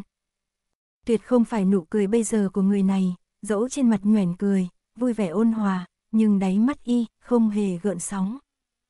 Thật chẳng gì bằng, bên ngoài y thế nào, không liên quan đến cô, đối với cô, nếu y không muốn cười, rất không cần phải cười. Cô yên lặng đi theo, cùng ra khỏi vương phủ, leo thẳng lên lễ xa rừng ở ngoài cổng, trước sau nghi trượng, hộ vệ theo sát, xuất phát đi hoàng cung. Ở trong xe, hai người sóng vai ngồi, y vẫn vẻ nghiêm túc ngồi thẳng thớm, cô cũng chẳng chủ động bắt chuyện, cả đường không nói, đến tông miếu ở phía đông nam lối vào hoàng cung. Lễ quan và tùy chúng đều đã vào chỗ đợi, trong bầu không khí trang trọng nghiêm túc, Khương Hàm Nguyên sóng bước bên nam tử vào miếu, giày vò một bận. Lúc ra ngoài sáng nay, sắc trời mới sáng, đến phút cuối kết thúc, đã sau một canh giờ, mặt trời đỏ cao chiếu, nhưng vẫn chưa xong việc, còn phải vào trong cung một chuyến. Với ngôi vị của Thúc Thận Huy, Khương Hàm Nguyên ở trước mặt Lan Thái Hậu cũng chỉ cần bán lễ, và lại ngang hàng, vào cung cũng không phải cố ý cận bái sao thiếu đế hay là Lan Thái Hậu, cũng không có quy chế này.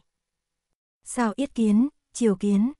Hai người cần cận bái, là một vị lý thái phi triều võ đế, danh hào đầy đủ là đôn ý thái hoàng thái phi.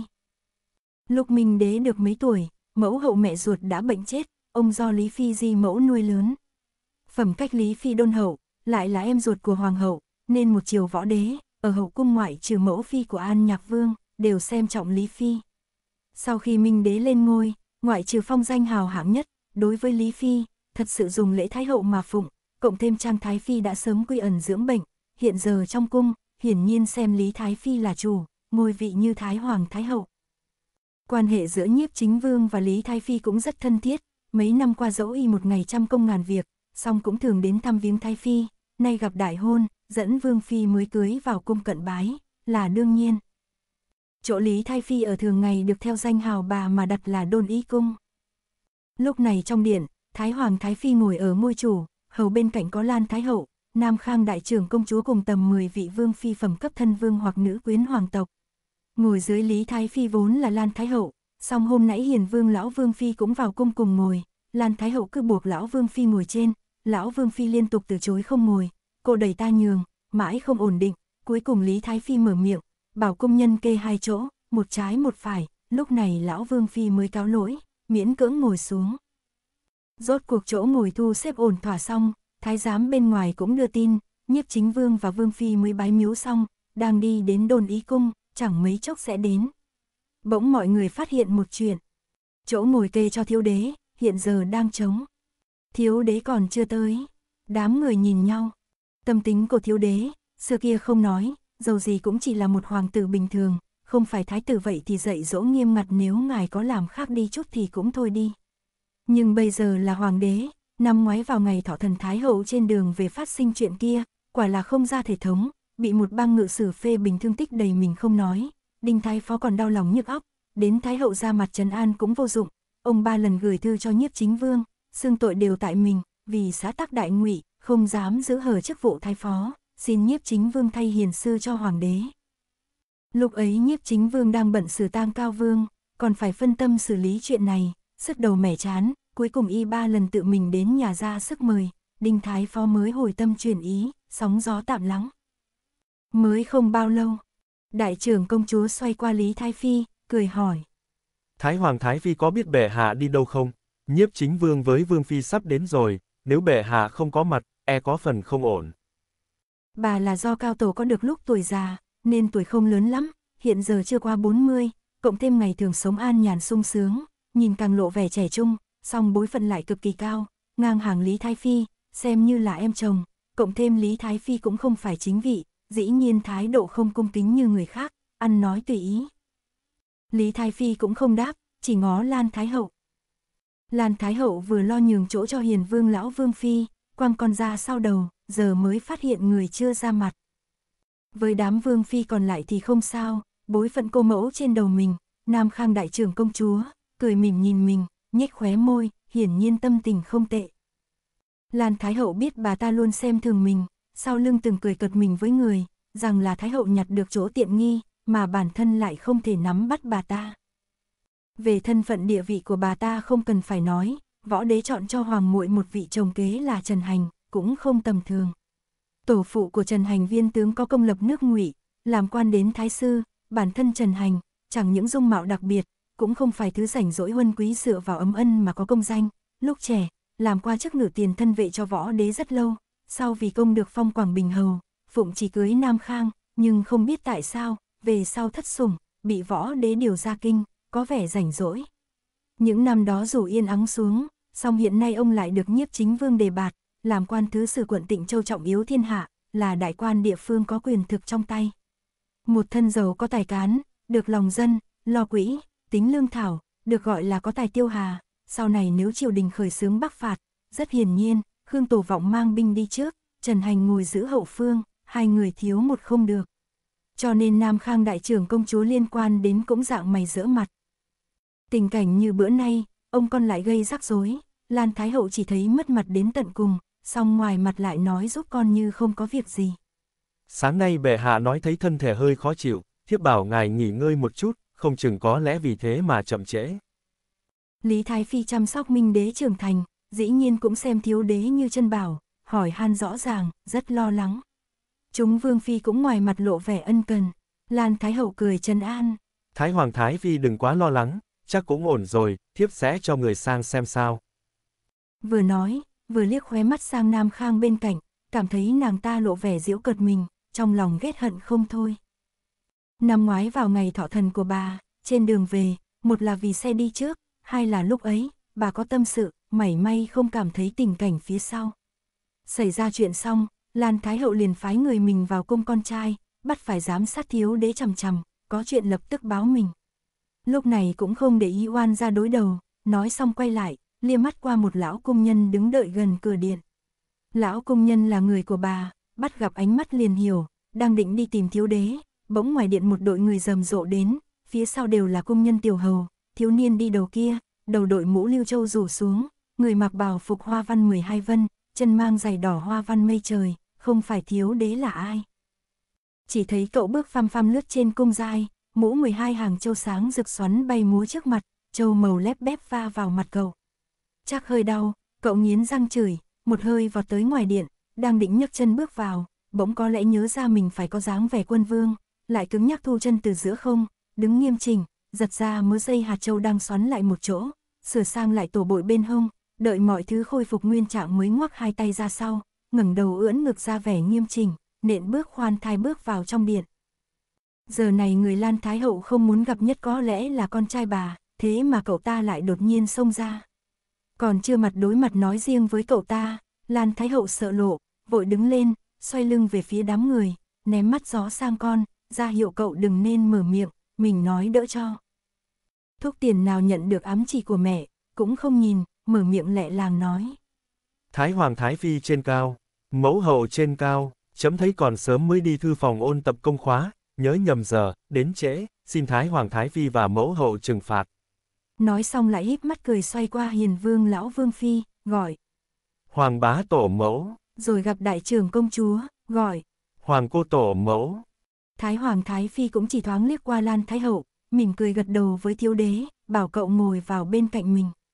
Lão Vương Phi thì cười khen bệ hạ đọc sách nhập tâm, đám người còn lại cũng tán dương luôn miệng, như quên sạch lời Lan Thái Hậu mới vừa nói. Trừ mỗi nam khang đại trưởng công chúa, liếc sang Lan Thái Hậu đang căng cứng sắc mặt, cười nói. Bệ hạ quả nhiên dũng công, khó chịu trong người vẫn đọc sách không biết mệt, Đinh Thái Phó mà biết, chắc hẳn cảm thấy rất vui mừng. Thuốc tiền nào biết nguyên do bên trong, mù tịt nói. Khó chịu trong người. Đại trưởng công chúa cười khoát tay. Hoàng cô tổ mẫu thuận miệng nói thôi, bệ hạ không có sao là tốt nhất, hoàng cô tổ mẫu cũng yên lòng. Lan Thái Hậu chịu đựng phẫn hận trong lòng, ý cười miễn cưỡng treo trên mặt, lên tiếng chen vào. Có lẽ là bệ hạ khỏe rồi mới đi thư phòng, còn quên luôn giờ giấc. Vừa nói vừa chầm chầm nhìn ông con. Đại trưởng công chúa cười. Xùi. Dù đã cố đè tiếng thật nhỏ, nhưng giữa khoảng không trong điện, có thể nghe rõ ràng. Dù Lan Thái Hậu có linh hoạt cỡ nào, trận chiến trận này cũng không dừng được, sắc mặt trở nên cực kỳ khó coi. Thiếu đế mới bảo mình đi ngự thư phòng mới đến trễ, đám người ngoài mặt không hiện xong bên trong đều cho rằng ngài đang nói láo, đến Lan Thái Hậu mẹ ngài cũng thế, cho rằng con mình lại đi chơi bởi đâu mà quên giờ. Nhưng thật ra, tất cả đều sai, thuốc tiền đúng là đi thư phòng ôn công khóa, còn vì sao mà cậu lại cần cù thế, là do cậu thầm tính chút nhỏ nhặt. Bình thường cậu vốn nhạy bén, vừa nãy do không hề hay biết, giờ thấy dáng vẻ đại trưởng công chúa và mẹ thế này, cũng biết hai bà thường ngày bất hòa, sau lưng như hai con gà trọi bổ nhào vào nhau trong sân. Lại liên tưởng đến lời vừa nói, trong lòng gần như nắm chắc. Chắc là mình tới chậm, Thái hậu để giữ mặt mũi, bị chuyện tìm cớ giải vây cho mình, vừa lúc mình đến, hai bên không khớp, rước lấy diễu cợt của đại trưởng công chúa. Nói thật, cậu cũng chả ưa vị hoàng cô tổ mẫu nam khang đại trưởng công chúa tranh chua ngang ngược, cũng phiền chán Thái hậu nắm mọi cơ hội cả ngày lẫn đêm tận tâm chỉ bảo mình các thứ, phía trước một ô phía sau một lòng, cả hai bà cậu đều không muốn giải thích, cộng thêm bản tính trời sinh còn mấy phần kiêu ngạo, hiểu lầm thì hiểu lầm, cũng lười biện bạch cho mình, dứt khoát đóng vai ngốc đến cùng, không nói một lời. Lý Thái Phi nhìn sang hiền vương lão vương phi bên cạnh. Lão vương phi biết ngay cả Lý Thái Phi đại trưởng công chúa luôn chẳng để vào mắt, Lý Thái Phi cũng không chào đón bà. Được rồi được rồi, tự dưng náo loạn ra cảnh tượng lúng túng này, Lan Thái Hậu thì cũng thôi đi, liên quan đến mặt mũi của thiếu đế, bà đã ngó mình, là có ý nhờ mình ra hòa giải, không ra không được, cười nói. Bệ hạ đến là tốt rồi, mau mau ngồi đi, tam hoàng thúc hoàng thẩm ngài hẳn đã sắp đến. Trái lại đối với hiền vương lão vương phi đại trưởng công chúa vẫn nể mặt mấy phần, thấy bà mở miệng coi như thôi. Thúc tiền quay nhìn ra ngoài điện, ngồi yên vị, Lan Thái Hậu ổn định tinh thần, đè xuống cơn giận, từ từ ngồi về chỗ. Đám vương phi mệnh phụ còn lại dĩ nhiên điềm nhiên như không có chuyện gì, cuối cùng cảnh lúng túng cũng qua, lúc này có công nhân bên ngoài vào truyền lời. Nhiếp chính vương và vương phi đến. Lập tức, trong điện ngoại trừ ba người thái phi, Lan Thái Hậu và thiếu đế, còn lại toàn bộ đứng thẳng chào đón, ngay cả đại trưởng công chúa cũng không thể ngoại lệ. Lan Thái Hậu giờ mới thấy trong ngực bất một ngạt, nghe tiếng bước chân từ ngoài điện, dương mắt, thấy một cặp bóng người được lễ quan trong cung dẫn đường, xuất hiện ngoài cửa điện. Hôm qua bắt đầu từ lúc nhiếp chính vương đón nữ tướng quân đến một màn kinh hồn ngoài cổng chính vương phủ, rồi thiếu đế xuất cung trong đêm, thậm chí chuyện trong phủ cao vương sau đó, Lan Thái Hậu tuy ở thâm cung, song nghe rõ mồn một. Đương nhiên, cũng từ miệng người bên cạnh bà được biết, nữ tướng quân Khương gia kia có vẻ cũng không phải có dáng vẻ la sát như lời đồn. Dẫu thế, đến giây phút tận mắt nhìn thấy, Lan Thái Hậu vẫn thấy bất ngờ. Cảm nhận như vậy, không chỉ mỗi mình Lan Thái Hậu. Y phục Khương Hàm Nguyên tương tự người đàn ông bên cạnh, bên trong áo tơ tằm thuần sắc, bên ngoài hai màu đen và đỏ nhạt, ở vạt áo bả vai và ống tay áo được thêu trang trí mây trời tinh xảo, chẳng qua y phục của y dùng đen làm chủ, điểm đỏ làm phụ, còn cô thì ngược lại, đỏ cả người, chỉ có mảnh lụa trang trí ở hông và ống tay áo là đen. Trong ánh mắt tập trung chú ý chung quanh, cô bước vào, sau đó đứng thẳng vững vàng, vẻ mặt tiêu nhiên, trên mặt chẳng hề có chút ngượng ngùng hay câu nệ của nàng dâu mới gả, bóng người không hề nhúc nhích. Đó là một cảm giác có cắt cuồng sóng dữ ập đến, dưới chân cũng khó mà rung chuyển. Cô và lớp ngoài cao quý đỏ thẫm đầy trang trọng kia hóa thành một thể, như trời gặp biển, núi gặp sông, gặp nhau càng tăng thêm sức mạnh, hẳn nên là vậy. Ngày thường bất kể trên chiều hay nơi đâu, phàm nếu có mặt. Nhiếp chính vương, tất nhiên y sẽ là tiêu điểm của ánh nhìn. Nhưng giờ đây, chẳng ai nhìn y, đồng loạt, trong chớp mắt, toàn bộ ánh mắt rơi xuống người nữ tướng quân bên cạnh y. Trong phút chốc, trong điện không ai lên tiếng, mãi đến khi giọng nhiếp chính vương vang lên, phá vỡ yên tĩnh. Y đưa vương phi mới cưới, hành lễ với Lý Thái Phi đang ngồi. Thái Phi người như danh hào, đôn hậu ý đức, trên mặt nở nụ cười tự ái, miễn lễ cả hai, lập tức mở miệng lo lắng hỏi thăm chuyện đêm qua. Nhiếp chính vương nói, chỉ là đám sâu dân mọt nước không biết trời cao đất rộng thôi ạ, thần không sao, Thái Hoàng Thái Phi không cần lo lắng. Thái Phi lên tiếng khiển trách nghịch tặc, lại căn dặn y sau này cẩn thận một chút, nhiếp chính vương vâng đáp từng câu. Thái Phi tường tận xem xét Khương Hàm Nguyên một lát, cười nói với hiền vương lão vương phi. Năm ngoái nhiếp chính vương từng đến thăm lão thân, lão thân nghĩ đến nay cậu ta vẫn chưa thành ra, sợ rằng bề bộn quốc sự cả ngày mà chậm trễ trung thân đại sự, liền khuyên đôi câu, khi đó mới biết, thì ra là nhiếp chính vương ngưỡng mộ nữ tướng quân Khương gia. Giờ cuối cùng tâm tưởng sự thành, có thể nói là ông trời tác hợp, đám hôn trưởng chúng ta sau cũng không cần nhớ thương, có thể yên tâm. Lão Vương Phi cũng cười đáp. Thái Hoàng Thái Phi nói cực phải, lần này hiền vương về kinh, ở trước mặt tôi cũng tự khen Vương Phi không dứt miệng, bảo Vương Phi chiến danh chuyển xa, quân dân nơi biên thành nhắc đến Vương Phi đều kính trọng. Ta nghe xong liền ngóng trông mau được thấy mặt.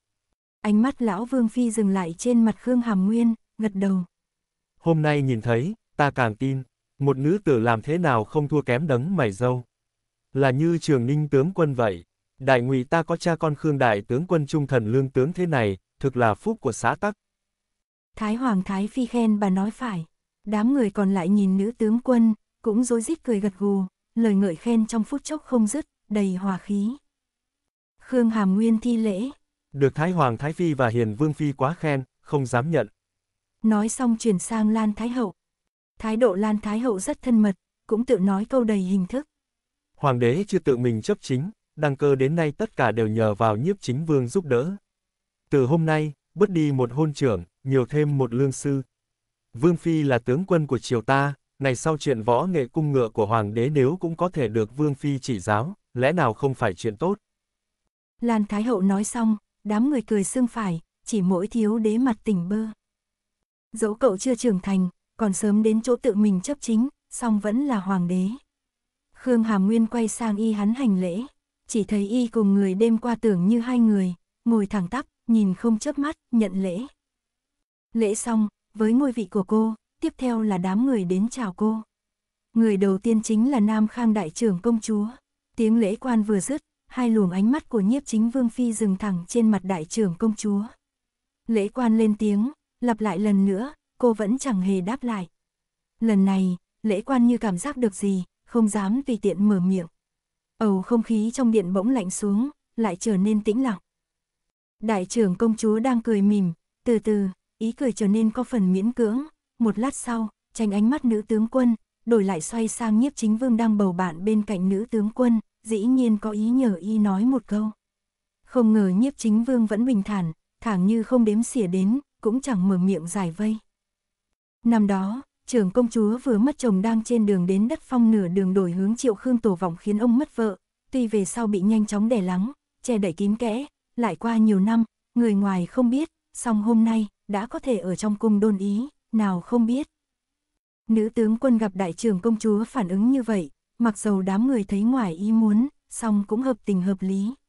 Chỉ là đám mệnh phụ vương phi này dẫu sao cũng chẳng ngờ, nhiếp chính vương đối với một màn này làm như không thấy, đến cả một câu giảng hòa cũng không chịu nói, dung túng nữ tướng quân bực này, làm cô ruột cũng không xuống bậc được trước mặt mọi người. Sắc mặt đại trưởng công chúa giờ đây so với Lan Thái Hậu ban nãy khó phân trên dưới. Cơn giận còn sót giấu trong lòng Lan Thái Hậu rốt cuộc phun ra hoàn toàn, tâm tình cực sướng.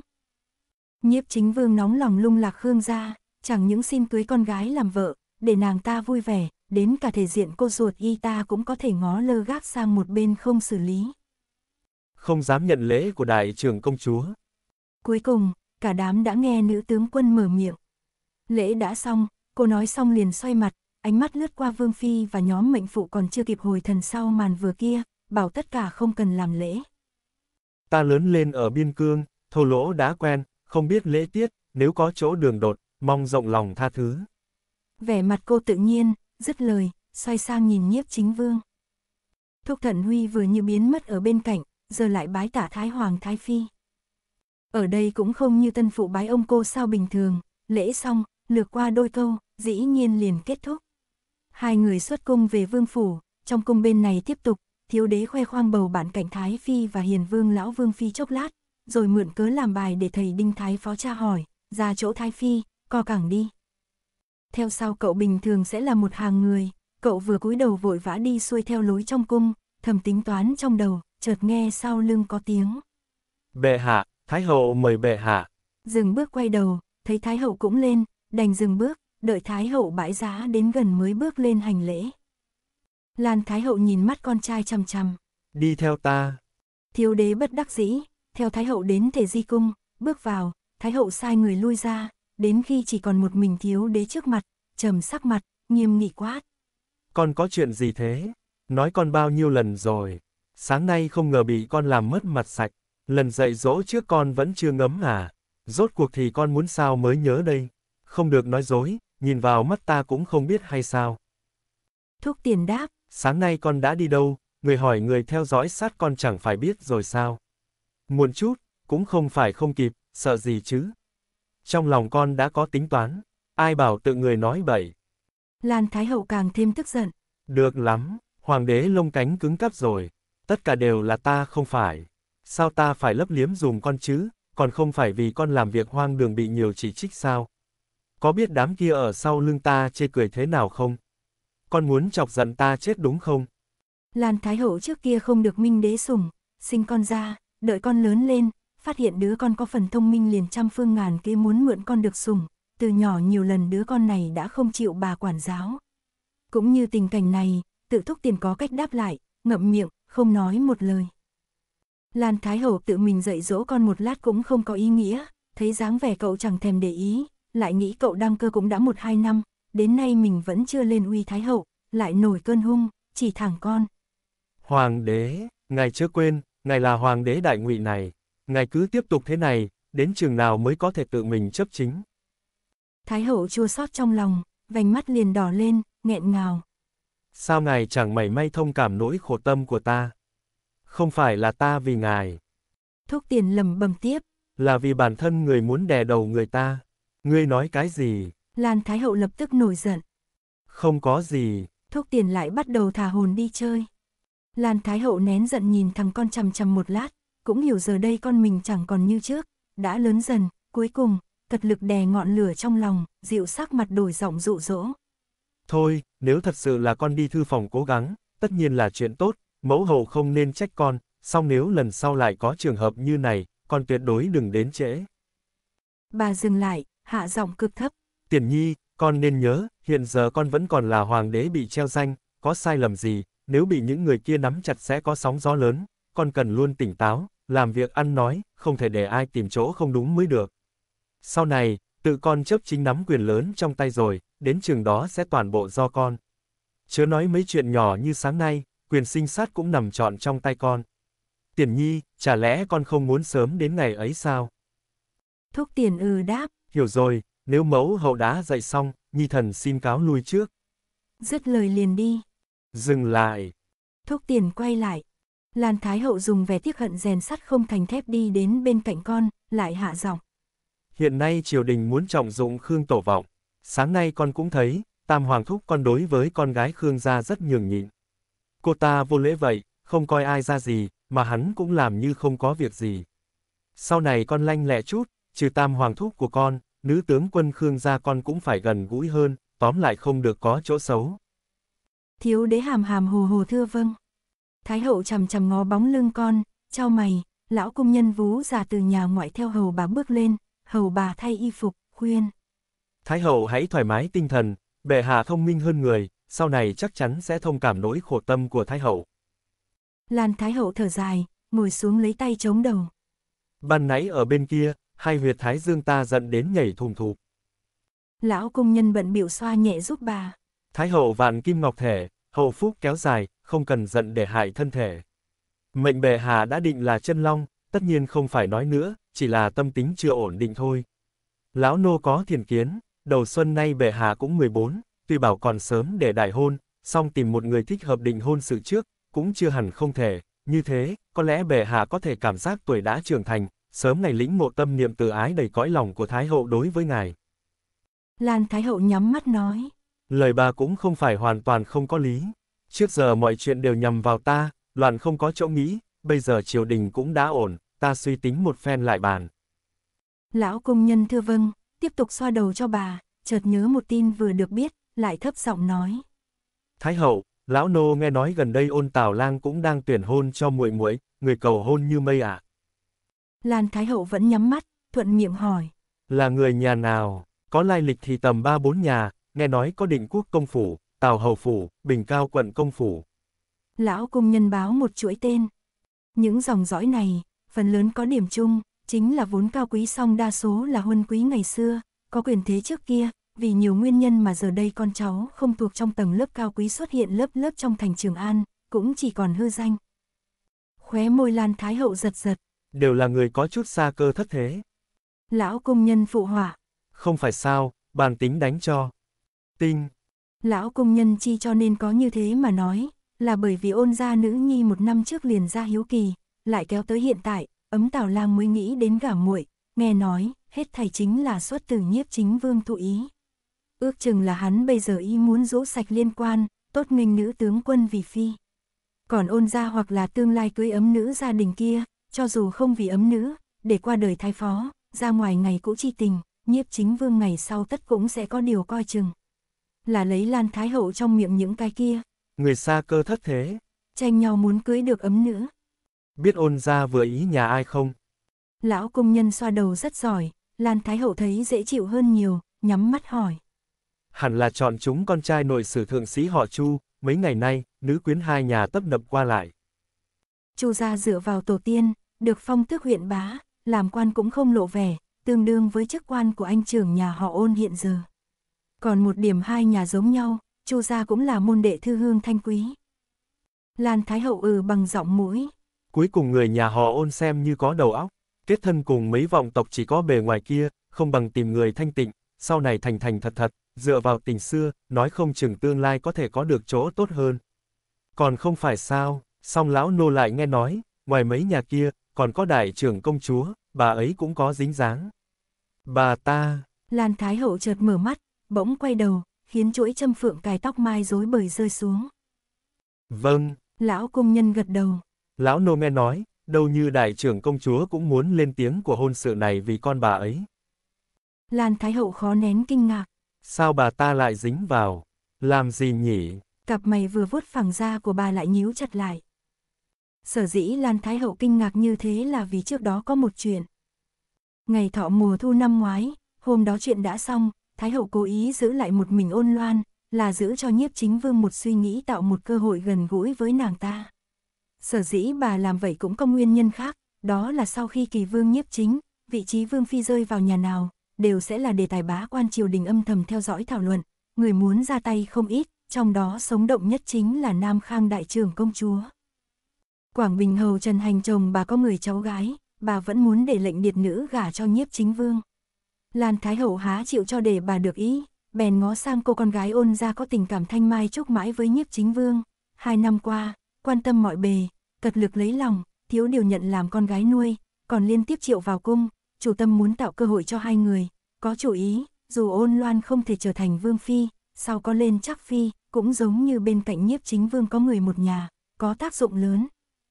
Về sau kết quả chứng minh, hai phe đều hụt, có điều, chỉ cần đại trưởng công chúa không đạt được ý đồ thì với Lan Thái Hậu đã là thắng. Vốn tưởng chuyện xem như đã qua, không ngờ, trong chuyện này đại trưởng công chúa cũng muốn chặn ngang một cước, muốn làm gì nhỉ? Lão công nhân thấy bà trao mày, Trần An nói. Cho dù là con của đại trưởng công chúa, sao ôn gia có thể nhận lời hôn sự? Đại trưởng công chúa và Trần Hành người chồng hiện tại chưa từng có con cái, bà ta chỉ có một mụn con trai, sinh cùng chồng trước, sau lưng được gọi là Tráng Vương. Sở dĩ có biệt hiệu này là bởi trí não trời sinh của y hơi kém người bình thường. Nói trắng ra là, không thông minh, song vì thân phận của mẹ, được phong hào quận vương sớm, theo sau còn một đám vỗ ngựa phụ hỏa, cả ngày cưỡi ngựa dạo phố không làm gì đàng hoàng, thiếu chút bị nịnh lên thành quý công tử đệ nhất Trường An. Lan Thái Hậu nhíu mày.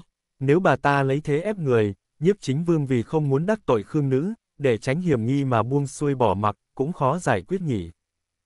Lão công nhân liền nhớ tới trong cung đồn ý của Thái Phi sáng nay, nữ tướng quân bên cạnh nhiếp chính vương kia dáng vẻ sứ giả hộ hoa, chợt thấy Thái Hậu nói không phải không có lý, phụ hỏa vâng dạ. Lan Thái Hậu trầm ngâm, dạn. Bên hoàng đế cứ để đấy, bà theo sát việc này cho ta. Ngoài cung, xa liệt của nhiếp chính vương và vương phi đang đi trên đường về vương phủ. Không giống lúc đi, đường phố trống chảy mặc cho chạy băng băng, lúc này là lúc đông người ngựa xe như nước, đi qua phố xá sầm uất cần nghi vệ dọn đường đằng trước, tốc độ chậm hơn rất nhiều. Người qua đường gặp xa Liệt từ hướng Hoàng Cung chạy ra cũng khó tránh nhìn thêm mấy lần, rất nhanh có tin, chuyến xe ngựa này hình như là xe tân hôn hôm qua nhiếp chính vương đón vị nữ tướng quân chứ danh của bản triều, đều hiếu kỳ không thôi. Gánh hàng hạ gánh, dắt la rừng ở ven đường, người đang đi đường dừng chân nhìn ngó, bỗng chốc tắc đường, trật tự đại loạn, một người giận dỗi không đâu vì xe bị người dẫm phải chân, dùm ben cả lên, chọc đến đám hộ vệ vương phủ phụ trách xuất hành bảo vệ hôm nay âm thầm khẩn trương, e lại xảy ra chuyện ngoài ý muốn như đêm qua, thống lĩnh hộ vệ vương phủ vương nhân ngầm lệnh cho thu thập đội ngũ, tăng tốc độ đi qua. Thúc thần Huy nghe bên ngoài ồn ào, mở một góc cửa bên phía mình nhìn ra ngoài, lập tức đóng lại, ngăn âm thanh ầm ĩ bên ngoài, quay lại nhìn cô gái sóng vai ngồi chung với mình. Lúc vừa ra hoàng cung, thần sắc cô cứng đờ, ra được một lúc giờ nhìn tốt hơn nhưng vẫn không nói một câu. Ngoài xe ồn ào náo động thế kia dường như không hề liên quan đến cô, chỉ nhìn thẳng phía trước như ngưng thần, đắm chìm trong thế giới của chính cô. Y trần trừ một lúc, đợi xe ngựa qua khỏi phố xá sầm uất, bên ngoài yên ắng hơn, quay sang, nhìn sườn mặt đang tập trung của cô, phá vỡ im lặng. Khương Thị, liên quan đến chuyện mẹ nàng nhiều năm trước mất sớm, ta cũng nghe thấy đôi chút, tất cả đều là tội lỗi hoàng gia ta, ta thấy rất áy náy. Cô không chút động tính, đến cả mắt cũng không chớp, đáp. Quân muốn thần chết, thần không thể không chết, huống chi chỉ là vậy. Điện hạ ngài nói quá lời. Thúc thần Huy dừng lại. Ta biết bây giờ nói nhiều cũng vô dụng, ta cũng chẳng thể có bất kỳ đền bù gì, chuyện duy nhất có thể làm chính là đợi sau này, nếu có cơ hội, ta muốn đến tế bái nhạc mẫu, bày tỏ tấm lòng tạ tội của ta. Đây là lời từ đáy lòng ta, liên quan gì với Điện Hạ? Điện Hạ đi tà tội gì chứ? Thúc thần Huy lại dừng đoạn. Nàng và ta đã là vi phu phụ, sau này, cho dù là lấy thân phận phu quân của nàng, ta cũng nên đi một chuyến. Cô nghe xong, chậm rãi xoay mặt, ánh mắt dừng trên mặt y, như tường tận xem xét. Thúc thận Huy bị cô nhìn như vậy, cảm giác như nàng ấy đang tìm tòi nghiên cứu mình, bỗng nghĩ đến đêm qua. Chả lẽ là vì một câu, phu quân, của mình, chọc nàng ấy xem thường trong lòng lúc này. Một trận ngầm xấu hổ uể oải ập tới, sau lưng Túc Thận Huy khô nóng, miễn cưỡng điềm nhiên như không. Nàng nhìn ta như vậy làm gì? Ta thay mặt vong mẫu tạ ơn điện hạ. Cô mở miệng, chậm rãi nói. Về phần chuyện tương lai, tương lai hãy nói. Khương Hàm Nguyên hờ hững thu ánh mắt, xoay mặt lại. Quãng đường còn lại, nam lặng lẽ nữ yên lặng, trở về vương phủ. Phần này đến đây là hết. Mời các bạn theo dõi tiếp các video khác trên kênh. Nếu các bạn yêu thích kênh, hãy nhấn theo dõi nhé. Cảm ơn các bạn.